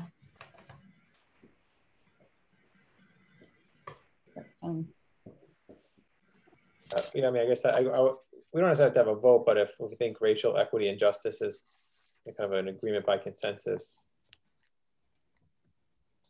is nod your head. yeah. Just right. to clarify for the uh, notes and minutes, is this for a new um, active or priority activity or for a review criteria? Type of activity. Activity. Activity. And then I think we'll talk about review criteria separately. right. So I guess we're on the social service, uh, social service proposal. So that's, you know, so we'd add, we've added one um, one um, priority. You know, I was looking at the state guidelines today, and what I usually like to do is try to update the request for proposals to align with their criteria. So, you know, they, they put out their one year plan pretty recently, and they have, I haven't done a uh, exact comparison, but I just want to make sure that what we have in there under say feasibility is a big one for them lately, just because I think a lot of grants um, need extensions and they're trying to really mix, stick to a 12 to 18 month implementation period you know, so I may change some of those individual questions under feasibility just to make sure we're in line with what the state's asking. So, I, you know, I didn't do that for tonight. I look quickly and it seems like they're they're the same. I just want to make sure we're not missing anything. So there may be like an administrative thing that Ben and I do just to make sure we're capturing everything the state wants, just so we're not, you know, we don't have to ask an applicant after the fact. Can I bring up, um, is there, I mean, when I read household, family, and individual stabilization, I mean, everybody's talking about housing, housing, housing, housing, and I'm not sure household stabilization could be a, could right. fall, a lot of things could fall under that, and I'm proposing we call it housing stabilization and then put the, put the parentheses after the word stabilization, family and individual. I just think it feels more to the point, and I think household I don't know. I feel like it's kind of redundant the way I just don't think it's clear enough the way that it is now. And I think we could just tweak it just a tiny bit to make it um, clearer. Right, so it would, say, it would say housing stabilization, then parenthetically, uh, how family and individual or something, right? That, yeah. yeah. I think that was a really good point that you made, Gail, about the homelessness. So the the other um, what I liked about about household stabilization, I was trying to figure out where housing goes in there too. Um, but I guess my concern is that just to take family outreach, for example, when Laura was talking about all the things that they do, yes, housing is a very, very big part of it, but there's so much else that they do, whether it's like helping kids with like homework or other types of you know services, social services. Um, so there's a lot that's not housing, and I would not like to leave that out by just mentioning housing. Good point. I mean, maybe addressing issues of houselessness is its own category. Or we do have, we do have. I was curious about that. Just that whether addressing homelessness and how and just providing housing are the, I mean, they seem to overlap. You know. So wait, so adding homelessness or houselessness as a, as a separate priority and, it, and continuing to have household stabilization. But it is there. It is there. It's the second one. Support yeah, yeah. services for those experiencing homelessness. It comes right under household stabilization. Yeah.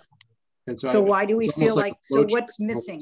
Housing stabilization and then housing. housing sorry, homelessness, housing, home, housing stabilization. Say it again, please, Lucas. Sorry, I, see, it's almost like a flow chart. Homelessness, housing stabilization or how finding housing then housing stabilization that's you know sort of the flow into from you know a tent into an apartment mm-hmm. i mean it, it, i don't know but it just seems like that's all connected and I, guess i don't read support services for those experiencing homelessness as housing like that that seems like it's a very and it's a very distinct piece of the work that organizations do. I mean, maybe it's enough all semantics that every organization has obviously been able to apply in the past and figure out how to make it work. So it may not be necessary I mean, that we seems like the solution to it, homelessness is housing. Right? Isn't that sort of what you're trying to do generally when dealing with somebody who's homeless is find somewhere. I mean, there's, you know, making sure they're fed and getting mental health care and health care and all that. But I mean, eventually that's sort of what the, the idea is, right? I mean, I don't know. Maybe I'm missing something.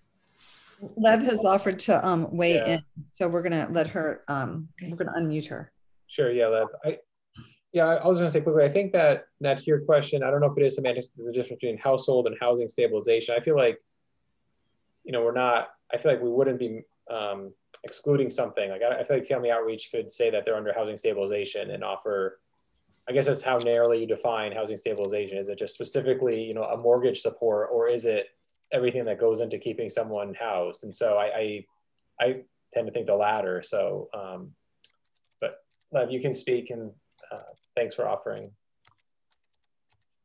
Uh, yeah, thanks so much. I just wanted to, there's a couple of layers that you're sort of referring to. And so I think that um, Housing stabilization generally refers to either providing housing for someone who is currently homeless, or it's an umbrella that it also refers to something that essentially keeps someone housed, so stabilizing their housing.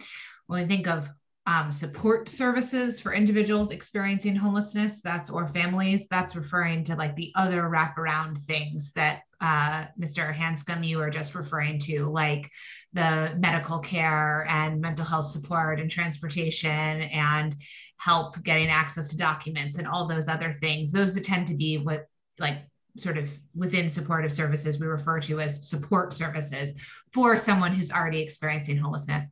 And then I think family stabilization um, family or individual stabilization is a much broader array of things. That's where all of the things that you were just talking about um, that Family Outreach of Amherst does, in addition to housing stabilization, could fit. Um, so I think I would actually agree that the two clearly organizations have figured out good ways to check the boxes and make it work. But in terms of uh, Ms. Lansky, what you were just getting at and kind of honing in on the housing piece, I guess from my sort of service standpoint, I would say that that isn't particularly well identified with those two pieces. Um, though obviously organizations have found ways to, to put it in. So anyway, hope that's helpful. Thanks, it is helpful. Um, hmm. Well, maybe adding housing stabilization as a category then fixes that. Does it make us have too many priorities? Um, That's a lot. Nate? Um, I mean, I, I think if we chose or we changed house household household stabilization, said housing stabilization, um, and then you know we could say parenthetically family or individual. I think I think that's fine. I, I think that you know, for instance, I think, you know, Laura's not here, but I think family outreach or others could still figure out, I think, you know, like, I think there's a number of categories or priorities or activities they still would be able to, um, to meet or, you know, to, to say they are. And I think then it becomes, um, yeah, so I, I don't, I don't, I think that's fine. I feel like if we add too many more, it just, it, you know, we could, because we can only fund, fund five activities and then we have to narrow it down with the state. I think I think these categories are helpful for the community and the committee to understand, you know, how to review proposals, right? So we said before in the past, like, what if we have five proposals that are all under food and nutrition? Then it might help say, okay, you know, how do we review those comparatively? If we have, you know, a number that are doing the same thing, it, it, it helps. Um, I mean, we could add another one. I just, I, I mean, I, I I feel like you know economic self-sufficiency. There, you know, there's a number, there's a few categories that that you know wraparound service services could could say they do. So I don't. Yeah, I, I mean, my inclination would. I'm generally a joiner. I tend to group things um, just personally. So I would I would generally try to put things as homelessness and and housing as one one one general umbrella item. But again, I'm new, so I don't yeah, yeah, I don't see I don't see how that's a detriment. I mean, we're if if we if we have the categories as we've said earlier be broad and inclusive Health as opposed to pinpointing health. things. And I just want to throw it out there just, just for discussion. I mean, support services for seniors. Do we have anybody who's spoken to that at all tonight anything that can fall under that and then you take one off the table for this year and then if we add one it feels like we're still maintaining the same number hmm.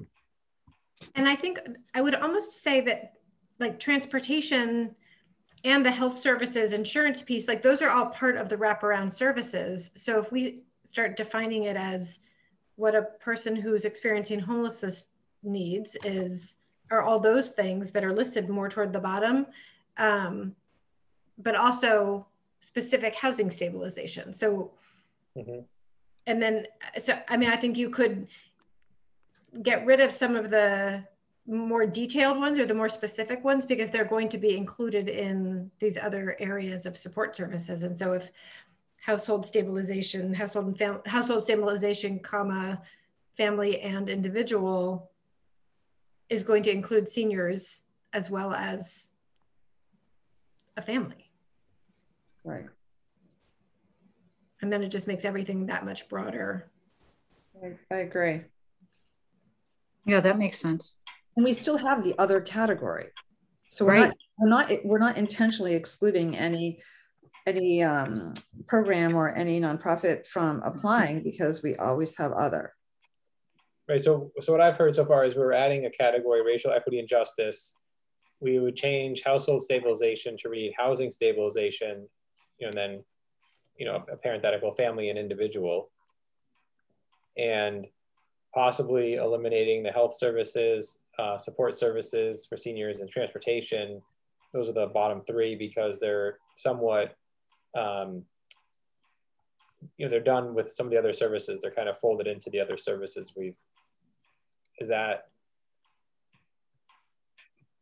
yeah, you can do that is that is that fair a fair is that I think summary? that's right but I think we still need the category of of um,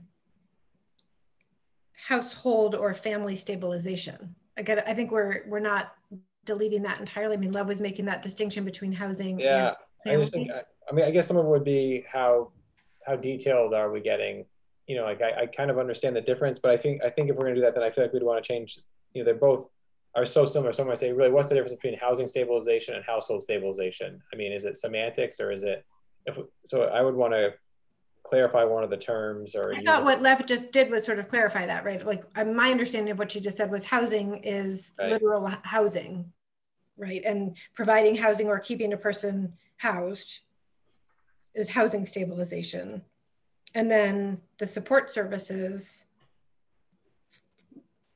are the things that we're getting rid of at the bottom. And then there's also family stabilization, which you could also call household stabilization. That is for a family where maybe housing isn't the issue, but it's all the other supports like that family outreach provides. That was my understanding of that.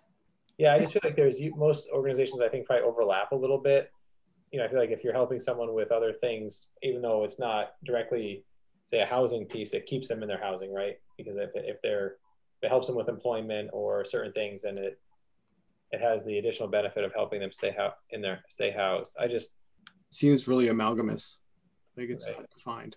It's uh, like, is it food and nutrition? Is it mental health? Is it healthcare? Is it? Yeah, so Lev suggested in the chat having what the category household stabilization parenthetically including housing, stabilization, family, and individual. So it becomes you know, still one category. It's pretty include. It's pretty broad that way. I think that works. That's yeah, I think that works. Yeah. Okay. That way we're not. I, I yeah. That way we're not splitting hairs, and some agencies not confused as to what. Yeah. It's talking about. Would you have a semicolon after housing stabilization, including housing stabilization semicolon, family and individual? Just I think, to- I think semicolon, then maybe just, I think the commas or semicolon. Family, including household stabilization, including housing stabilization, semicolon, family and individual. Yeah. Are there any grammarians out there that would like to weigh in on that? I'm not a grammarian. I'm a violator. family and individual doesn't just apply to housing, it applies to the household, right? Right. So I think it would be including housing stabilization, comma, family, comma, and individual. Okay, so comma after family. Right. The Oxford comma. Yeah. Yes, I believe strongly in the Oxford comma.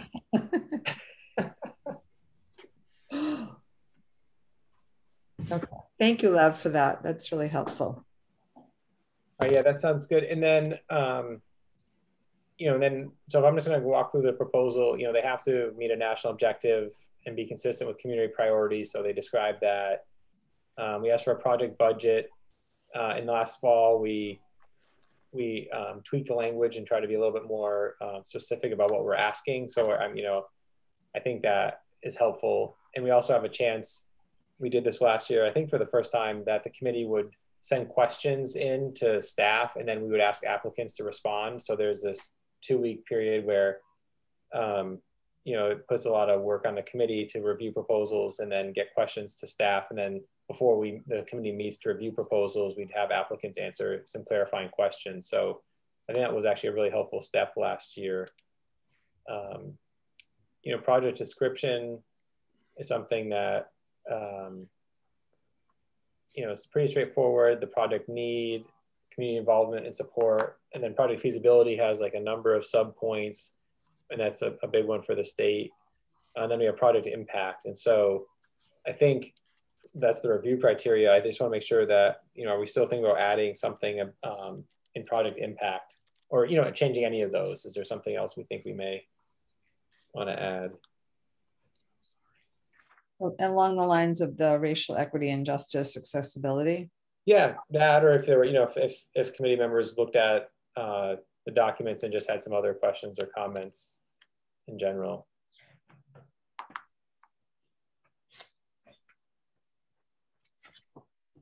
I think it could be useful to put something in that project impact list of bullet points. I mean, there's a general question, what would be the impact of the proposed project program, but we could add something like how, how will the proposed project program affect you know, racial equity and justice, for example. Right, we could just leave it kind of broad and yeah, I'd like to see that in that um, section. Mm -hmm. Yeah, I mean, is it, we like what Nat said, just something, a kind of a broad question that, you know, any anyone making a proposal can respond to, they can, you know, tailor their response.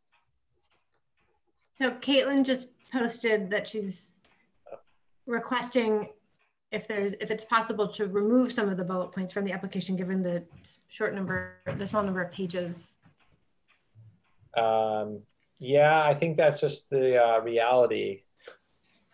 Um, most of so yeah, I, I, don't. There's not much room to. Uh, like I said, usually we try to go. You know, I think, you know, the was it like five major categories that the committee looks at. You know, and then there's all these sub questions. So I don't think there's too much. Um, uh, I can look again, but I really do think that uh, we can see if, if any of these need to come out of the three page limit, but that's, I mean, this is kind of what we, uh, what the town needs to then in turn supply to the state in three pages. I feel like there's not too much to take out. I know what Caitlin's saying. It is a lot to pack in there. We're not asking for more pages though. Are, we, are you are you asking or or, or uh, dictating, Nate? Well, no, I, I think that uh, up to this point we're pretty consistent on the number of pages that we ask for and that we limit applications to. Yeah. Right. Yeah, I think. Yeah, I mean, I think it's hard because the state does ask all these questions. All these questions. um, there, you know, I'll, like I said, Ben and I can look again, and for instance, if if some of these some of these parts of these categories are not, uh, the state hasn't put their formal application out. That's the hard part yet. Um, but we can, I can look at last year's and we can just verify. So if, you know, for instance, if part of project need or something doesn't need to be within the three page limit, we'll, we'll pull it out uh, in RFP or make it clear that that part is not part of the three page limit. So I think that's something we can do, you know, before this goes live you know, I wonder can, if the, sorry, go ahead. No, I, I, think that's something we can do. I, I think the difficulty is, um, you know, the state has changed their application a little bit last year, but like I said, those categories, that's, I mean, that's really what they have the town fill out when we then in turn apply. You know, they ask product feasibility, product description, product impact, and we have to then write to all those points within three pages ourselves. So it's not, you know, I think, yeah. What were we going to say you? Oh, I was going to say that um, that maybe the the piece about addressing racial disparities and um, accessibility for diverse communities could go in the section where we ask for a demonstration of consistency with community priorities rather than project impact.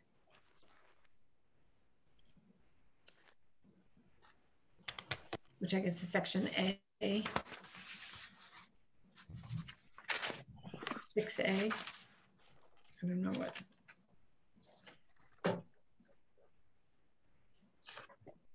Oh, I see what you're saying. So, right, put put that put that piece in uh, there instead of in. I think that makes sense if we're if we, now that we added um, racial equity and justice as a priority, it makes sense to have follow through with the description. Yeah, I, I think that's a good idea. And that also then takes it out of the three page limit. So it, um, you know, and then when we answer that, it really is a part of the, that, that, yep. I'm okay with that. I think it's, it will help an agency so they don't have to try to explain too much in a short, short number of pages. Mm -hmm. Is everybody else okay with that? Sounds good. Yeah, you have wanted under impact. I, I, I may have, um, we're moving something then from H to A? Did I yeah, I think, yeah, I think, you know, A is consistency with community priorities. And so I think if we have this as a priority, we could have this be one of the sub bullets under A, and then it's also not part of the three page limit. So we're not asking an agency to spend, you know, they can oh. explain, they can, they can describe it, just it's not then part of the three page limit. All right. wait, wait, okay. So instead of putting it in H, we're putting it in A. Yes. Yeah. Okay. Yep. That's great. Yep. Great. Yeah. I mean, I, like I said, I think Ben and I will just look to make sure. So for instance, like if product impact this year isn't part of the three page limit in the state, we can just put it, we can reorder this just so then it's, you know, just to make sure we're not, you know, we give agencies enough room. Um, I think uh, if there aren't if there aren't any other questions about the social service priority, I think um, we can go on to the non-social service one.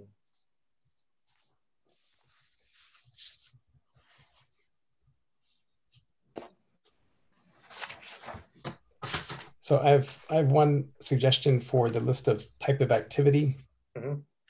and that's um, I remember being confused last year when we had the application for, and we ended up funding the Valley CDC for the um, microenterprise assistance program uh, because we don't have economic development on this list of type of activity. Is this is this for social service, Nat, or non-social service? No, non non-social service. Non-social service, yeah. So is there some reason we shouldn't add economic development to the list of activities? Yeah, actually, probably is a good one. Um,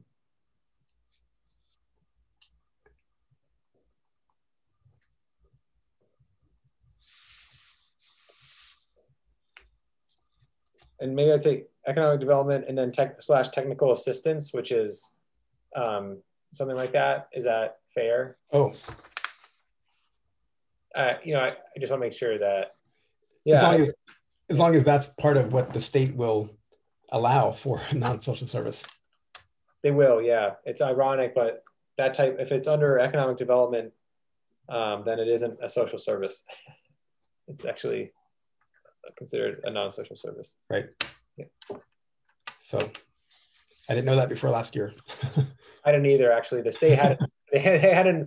It's actually it's a it's a um, they have like ten or eleven categories of activities, and this is like economic development is considered um, um, like part of category five, and they they haven't really funded those a lot. And so with COVID though, it became a bigger priority. And so when we applied, I they were like just you know they were like, oh wow, we don't have it. They didn't even have it in their system to say what activity it was. Um, they hadn't they hadn't funded it in so many years. So um, I think a lot of communities were surprised.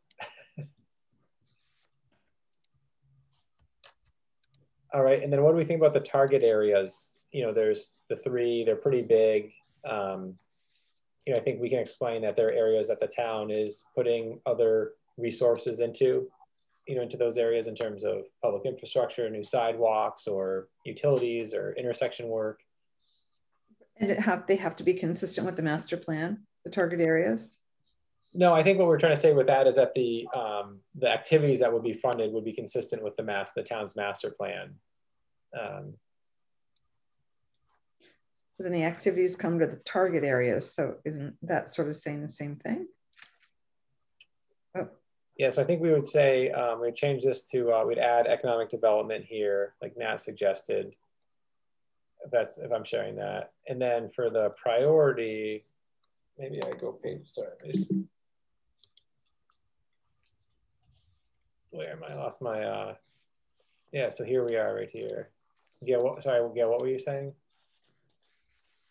That we don't have much leeway with the target areas because aren't the target areas consider aren't we considering the target areas as part of what the town's master plan is working on? And you said no, the projects have to be according to the town's master plan, but isn't that kind of like a two-way relationship? Two-way street? Do you know what I mean? Yeah, yeah, I guess a little bit. Um, yeah, I mean, I think the I think the bigger reality is that all the non-social service activities have to be within a target area. So I think that's the, you know, that's kind of the biggest restriction um, for that piece. So, you know, for instance, if so, you know, I think I know what you're saying. I just I think it's harder. I was trying to I'm trying to think of a way to explain it because you know I think we've had it we've had the instance where someone said, "Oh, I'd like to do a project in North Amherst," and we're like, "Well, that's not in a target area, and it's almost categorically excluded because of that." Um, so I don't know if I don't know if you like this language here to continue meeting the goals of the community's master plan and community priorities. Is that you know does that is that broad enough? And then we have the activities below. You know, we have like the five activities like acquisition, demolition, economic development that they that an agency will check off. In terms of the um, the three area, the target areas, right? Those were selected whenever that. I don't know how long those have been the selected right. areas. Does anything change it so that one of them shouldn't be there anymore, or that some other area should be? Yeah, I think the um, you know, at one point North Amherst was for a number of years, and we used block grant money up there to do a few things, and so then it you know it it came off the uh, came off as a target area. Um, you know, the green is representing. It may need to be updated. Uh, the new census data isn't quite available, but the green is showing income eligible block groups. So where a majority of the population is lower moderate income.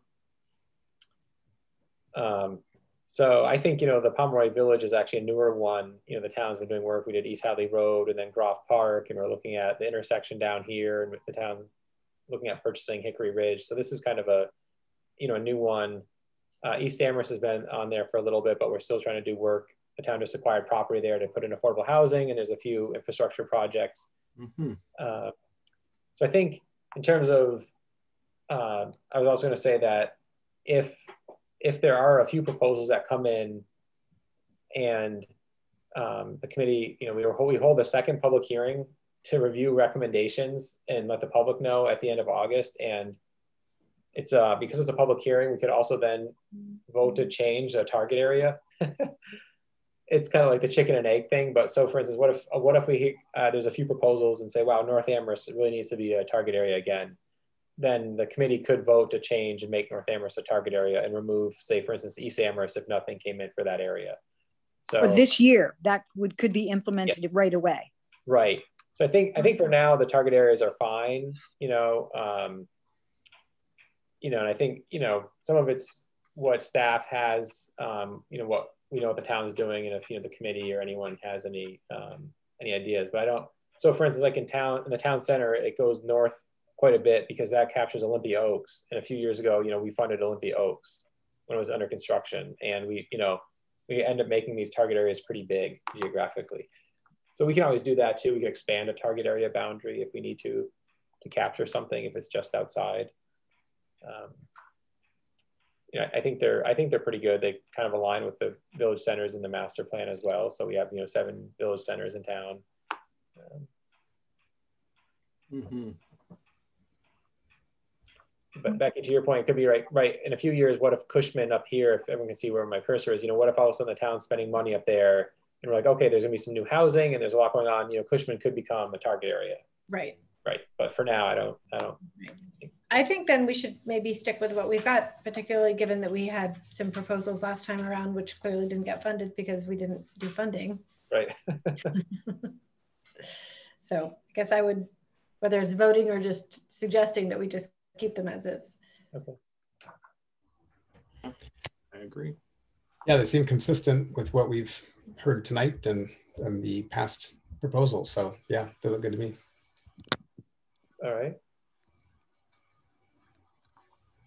All right, and if we're if we're okay with the request for proposals themselves, I guess we could just go through the schedule um, I mean, so, you know, embedded in the review and the proposals are the review criteria. So it seems like we're okay with that as well then, you know, those categories, impact, feasibility and everything. Um, you know, I think at some point we talk about, you know, rotating priorities, that what which was discussed tonight, or weighting, you know, priority. So somehow when we're reviewing proposals, there may, you know, different criteria might have different weights. And I think, you know, that happens, uh, I think individually community, you know, committee members will kind of place different importance on things as they're making their comparative criteria. So every year, almost every year, the committee kind of discusses, you know, do we do something different with how we review proposals? So, you know, we have our little matrix with the proposals and then the, you know, seven criteria. And do we want to do any type of weighting or something different? And so I just, you know, that can be part of the discussion. I guess I, I, I see that there are views on both sides. I guess the the one sort of major structural issue I see with trying to have a, a specific rotation is that one of the requirements is that this be a new activity, you know, any proposal be a new activity or a continuation of an old activity. Right. So if you know one of the major categories is to continue activities, so to say, for example, the you know food pantry at the survival center, if we have a rotation that you know one year food is not a priority and we have decided in advance we're not going to give to a food proposal, then that we're not able to continue that activity anymore. Right. So just as, as part of the, the process that we go through, that seems it would really um, kind of you know be an impediment to um, you know trying to continue you know existing successful you know programs, whatever they are and I think that's what Lev was saying. She said, you know, an ongoing presence is important. And she spoke about not advocating for rotating priorities. Yeah, I was intrigued by what Wei Ling was saying, but I, I also think that it's something that should that requires more thought and and a, a lot of I mean, the, I guess my biggest thought around it was not in a year when there's been a pandemic. Like That's, this is just not the year to sort of try figuring out what those priority areas should be and ex automatically excluding anything. Yeah, I, I was impressed with Wei Ling's willingness to be innovative and look for other sources of funding and, you know, ultimately her comment about it being a more stable funding when you've got more diverse sources. But yeah, this doesn't seem the moment to do that. Totally agree. Yeah, I think the um, you know because we asked for a documented need in proposals, um, you know, I think that helps agencies make the claim that you know, um, and you know they can illustrate that the need's not going away. So you know, for instance, like I don't think we've like, you know, um, we've paid our way out of food security yet. You know, so it's like maybe right. at some point, like if we are no longer no longer have food insecurity, we say okay, that's not a priority. But I, I feel like we haven't we haven't done that. And so the state doesn't require us to rotate priorities or weight them differently. You know, the Amherst is a mini entitlement because of our documented need, um, low income population, and a few metrics. So I think that, yeah, it is interesting. I, I think, um, I agree with Matt. There is a, I think, uh, actually, if we don't fund an agency for one year, it, it could, I think it could be difficult then for them to get back in into the cycle just because the way our funding doesn't overlap the local fiscal years very well. Um, you know, so I think an agency, there could be some trouble there. Um, the innovation is interesting. I, I, guess my only thought though is, you know, we also have a capacity question in block grant program does want to know that a community agency can meet all these requirements. So, I mean, there's a, you know, quite a bit to follow up with, you know, an agency has to do income verifications and reporting. And so I don't think innovation is a bad thing. I just I'm not sure the block grant program has kept up with how fast agencies can change. So you know they're not, you know, I, you know even in terms of their um, infrastructure programs, you know they're still like housing and roadways, which isn't necessarily the same as what some agencies might do or what we think is as as non social service. But you know the program regulations are still quite old, and so you know if they if they get updated and are more flexible, I, I would be willing to change that. But for now, I yeah, I think it could be something that is worthwhile to consider for future years, but maybe not this year. Great. Is everybody uh, in agreement with with um, Nate? Oh yeah. Yes. I think this is the right year to change things. Oh yeah, so when we re review proposals, you know, each committee member, I think what we what we had done in the past was, um, what we'll do this year is, you know, we have our review matrix, and then each committee member would, for instance, if there's five non-social service proposals, would provide, you know, first we have the questions that would go to the applicants if there are any, and then they would respond. And then the committee meets and reviews proposals and comes up with a general ranking. And during that meeting, before that meeting, committee members would send me their their order of non-social service and social service well, and send Ben priority. So you would you would individually rank, you know, from one to five or one to ten, whatever the order is, and then staff comes up with a composite ranking, uh, and then that's the basis for discussion. And so uh, what happens there is then, you know, individuals have already kind of determined what they think are the stronger proposals based on all the comparative criteria. And sometimes, you know, a few agencies are clear, you know, clearly have the top few votes, and then, you know, then there's a discussion about how to fund the remainder. And does that seem like that, you know, that works? I think there, you know, Nat, you were here, and Gail. I'm not sure if the new members, since we didn't really do that, but um, did that seem like it work has been working? Yeah, I think it's worked.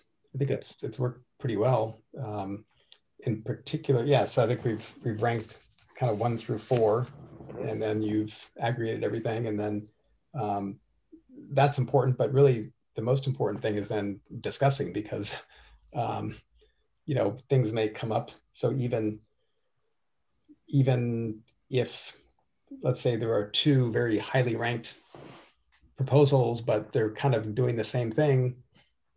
We don't necessarily want to fund those if there's not enough money to fund some of the other things. So, um, but just as an initial step, you know, having the um, the rankings and kind of seeing what other people thought about um, various proposals and how they were ranked, I think that's worked really well. All right.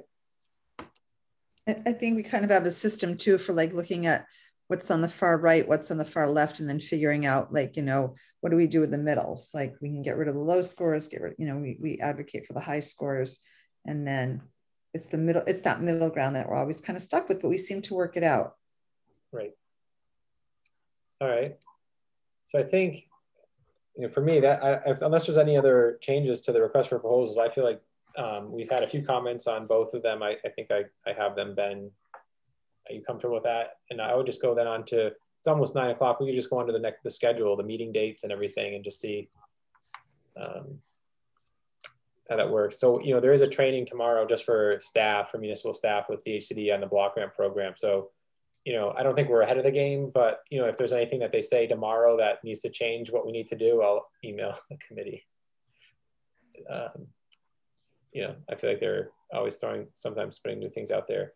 So I was going to just share a screen. Just you know, I, I emailed with proposed dates. I just want to we can just go over those to make sure that's feasible and um, you know, I think today's the 16th, so the idea would be to try to get the request for proposals issued by Friday on Friday. You know, by Friday. You know, it's a holiday, but I don't mind just getting them online and emailing them out. So you know, we have a day, day and a half to finalize those documents and get those out. Um, and then you know, I just threw, I just had these dates down. You know, uh, they're due on the 18th, so it's plenty of time, especially with the holiday. For I'm hoping for agencies to get proposals in. Committee would have questions to staff by August 6th, so it's kind of a quick turnaround for a committee to do a, a review of proposals and have um, questions. Um, the app we would get those to if we if committee had questions to us by like Friday at noon, we could get those to the applicants by close of day Friday. And then they would have applicants would have until August 12th to um, respond, and then we would have a public meeting on August 17th, which I think is a Tuesday, and at that public meeting, that would be when the proposals would be, you know, the committee would come up with the draft recommendations to the town manager, and then um, a week and a half later, we'd have a public hearing, and you know, at that date, we'd actually have. Uh, you know, we could have discussed this with the town manager's office and then allow the public to comment on the recommended activities. And then the, um, the applications are due by, by September 10th. So it doesn't give too much turnaround time for staff, but you know, I think that works within the time frame.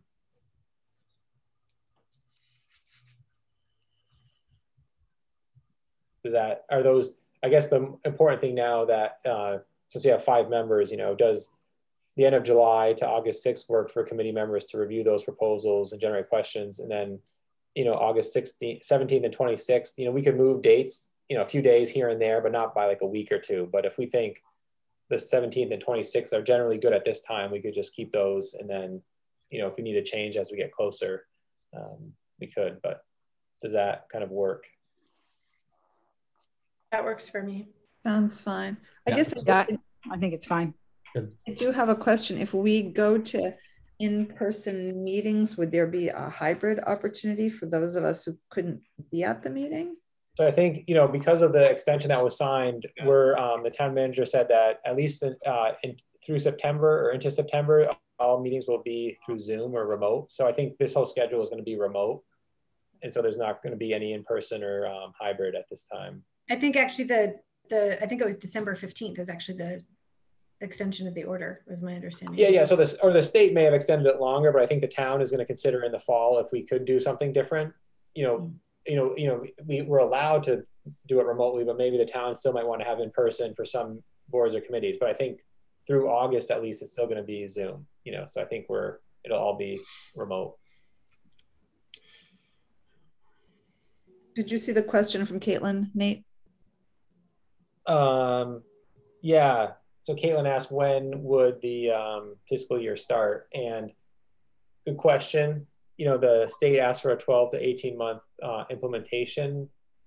And um, uh, yeah, I don't know when they're going to get the awards out. So, you know, my usually we apply in March and we we get the contract started in like by November 1st but now we're applying September, and my thought is maybe the money will come in in January, and it'll run through the calendar year. Um, that's just my guess. So I don't, I don't, you know, I think that's probably probably I thought, I thought that the that the press release they put on the website said that all activities must be completed between January 1, 2022 and June 30, 2023. Yeah, that's what they're guessing. So, oh, okay. Yeah. I think we'll learn more tomorrow. Ah. It just seems like a really fast turnaround. You know, usually if it takes six to six to eight months to get to apply and get a contract, and now they're going to do it in you know four months. we'll uh, see. Yeah. Right. But my guess is right. Probably yeah. What now you said is probably what they're trying to do. Gail, you're muted. Sorry. if there's any earth shattering news tomorrow, will you share that with the committee?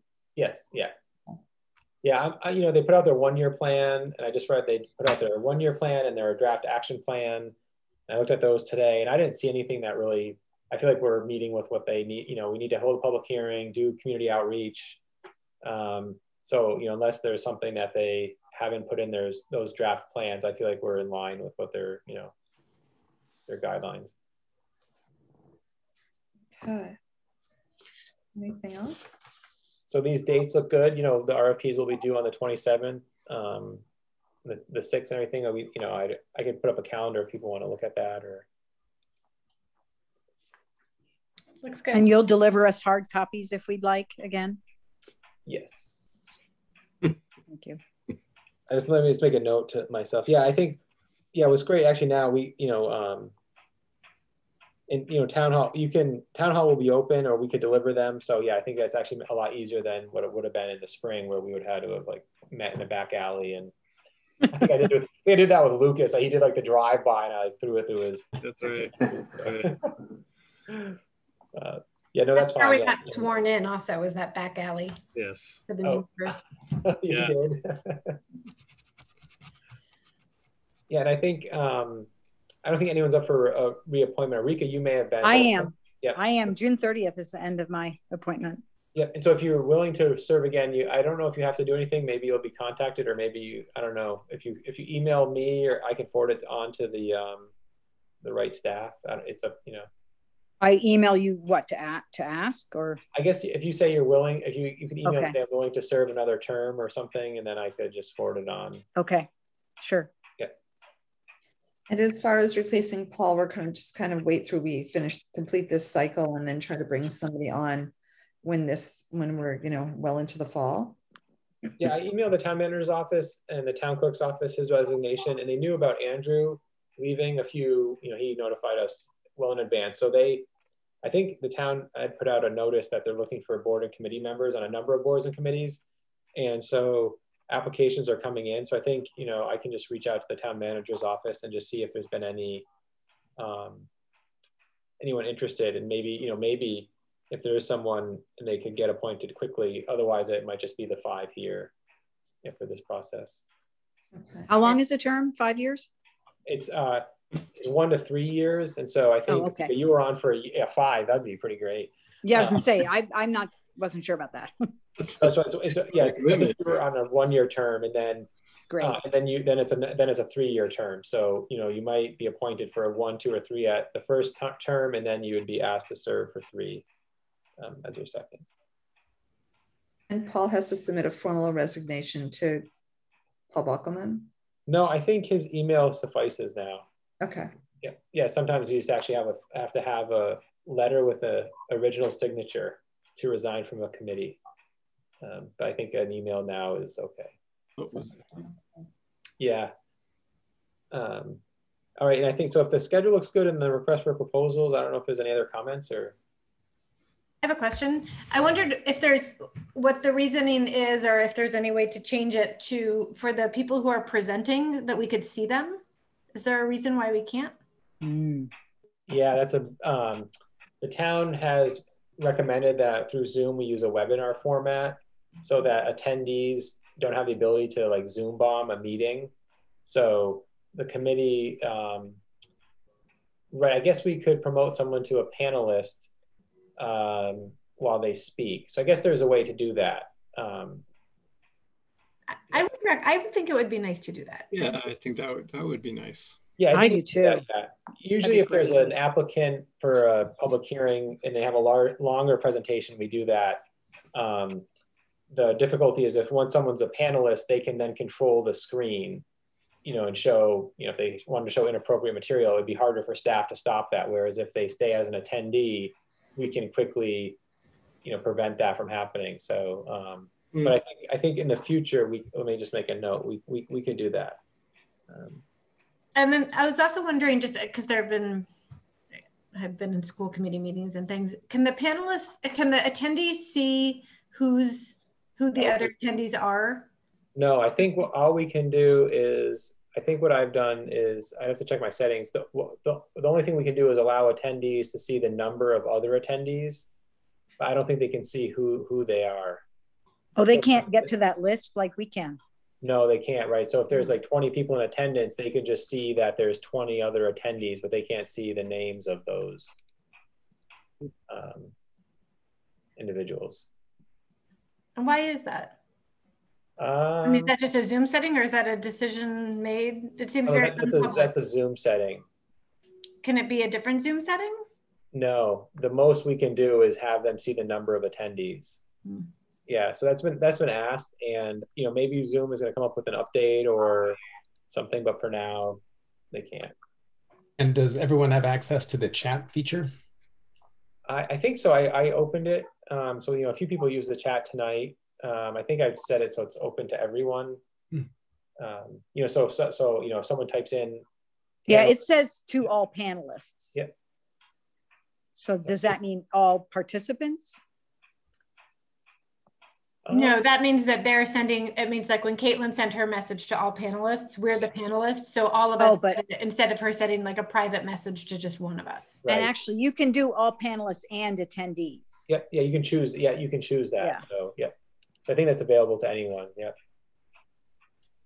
Um, yeah, and I think the Zoom, um, you know, we've heard a few times about being able to see everyone, but that, you know, that they don't allow that in the webinar format and we're not we're not, it's not recommended that we, we have a meeting. So, you know, there's a meeting format where everyone is visible, but then anyone could then can take control of the screen at any time. Uh, so that's not how we, you know, we're told to set up our meetings. And as far as, um, I don't know how to ask this, you know, some people brought, um, agency constituents tonight and some didn't. Mm-hmm. Is there, you know, if somebody brings like six constituents and somebody only doesn't bring any, are we allowed to just say, you know, you can present? That means that somebody gets 18 minutes as opposed to an organization that gets three. I'm just throwing that out. If the time allotted is three minutes, is there a way to, do we want to? Allot time per agency instead of per person?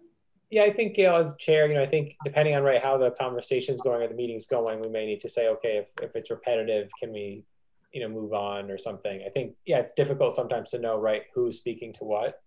Well, especially when you can't, I, I, I did, I couldn't see who was, who was attending. So I'm not saying I, but, you yeah. know, oftentimes agencies bring a lot of, a lot of constituents and it, it is repetitive and it, it takes up time.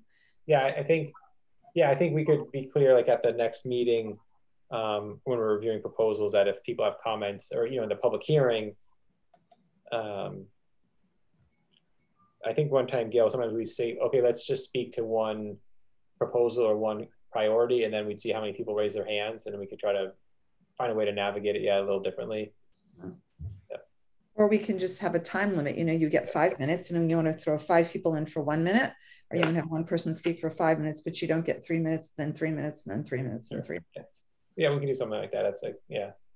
Actually, just to clarify though, the August 17th, that's a public meeting, not a public hearing, but right. uh, there will be opportunity for public comment.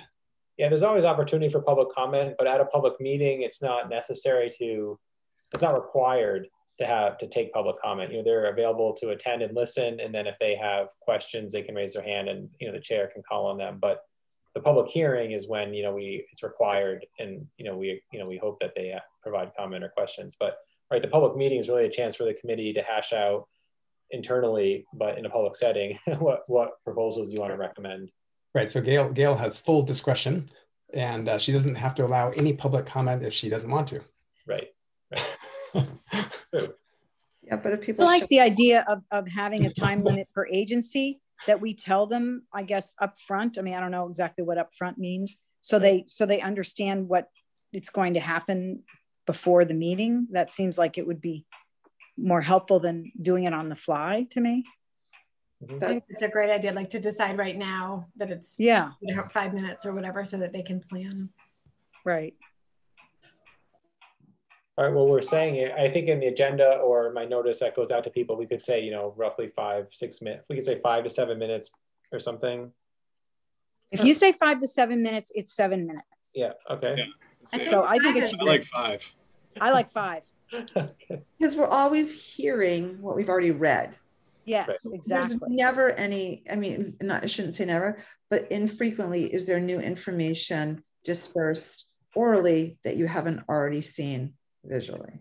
I think, right. yes, that's to the public hearing on the 26th. And we could say, we can even put it as part of the notice, you know, approximately five minutes per proposal or something. I mean, we don't, we can't, I don't know if we can actually limit it in the hearing, but I think uh, as a chair, we can make that decision, Gail. And then, you okay. know, we can also see, right, how many, how many attendees there are and how, you know, how long that could go.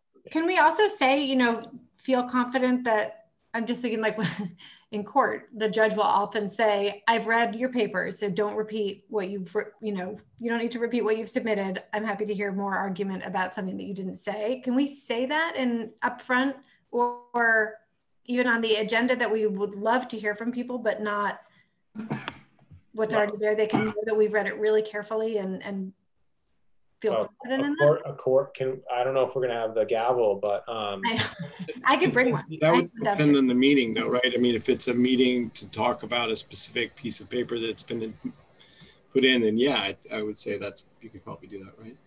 But if yeah, it's just sort of an open hearing to talk about priorities, it's, that's hard to do.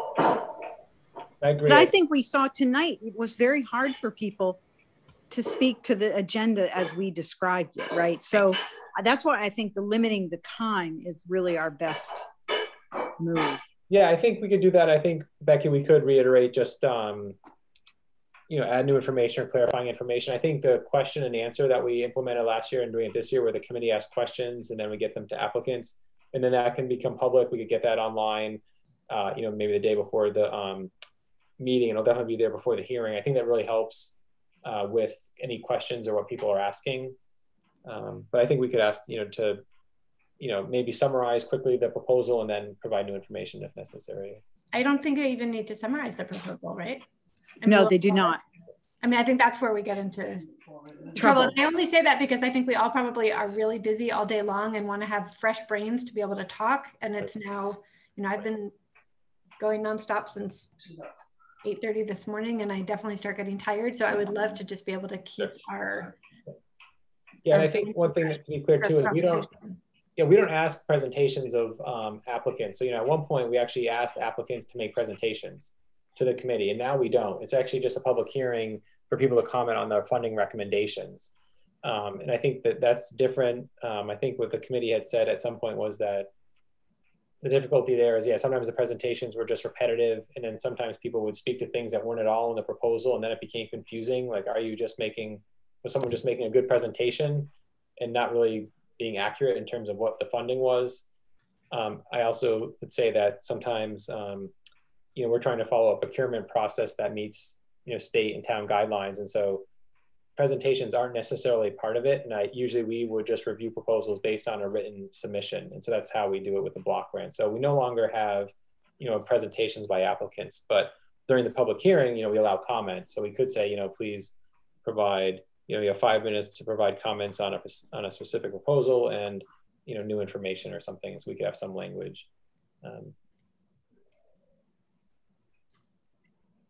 so, yeah. And Lev just asked, will the, will the committee, committee's funding recommendations be, um, be made public? And usually we do try to make them public beforehand, you know, so everyone can have a chance to know what, you know, what's being recommended there's not a lot of time if we meet on the 17th and then the hearings on the 26th, but I think we could have at least a few days.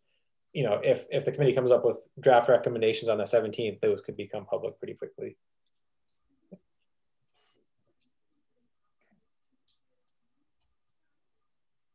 All right. A lot of good work done tonight. Thanks, everybody. Yeah. Any other questions or comments? I think I just want to go back and I don't mean to make this meeting go any longer um, and I'm just looking at my notes. What did we decide? And maybe I blinked for a minute about mental health services as a priority. Did we did we discuss that and decide to include it, or where do where do we leave it?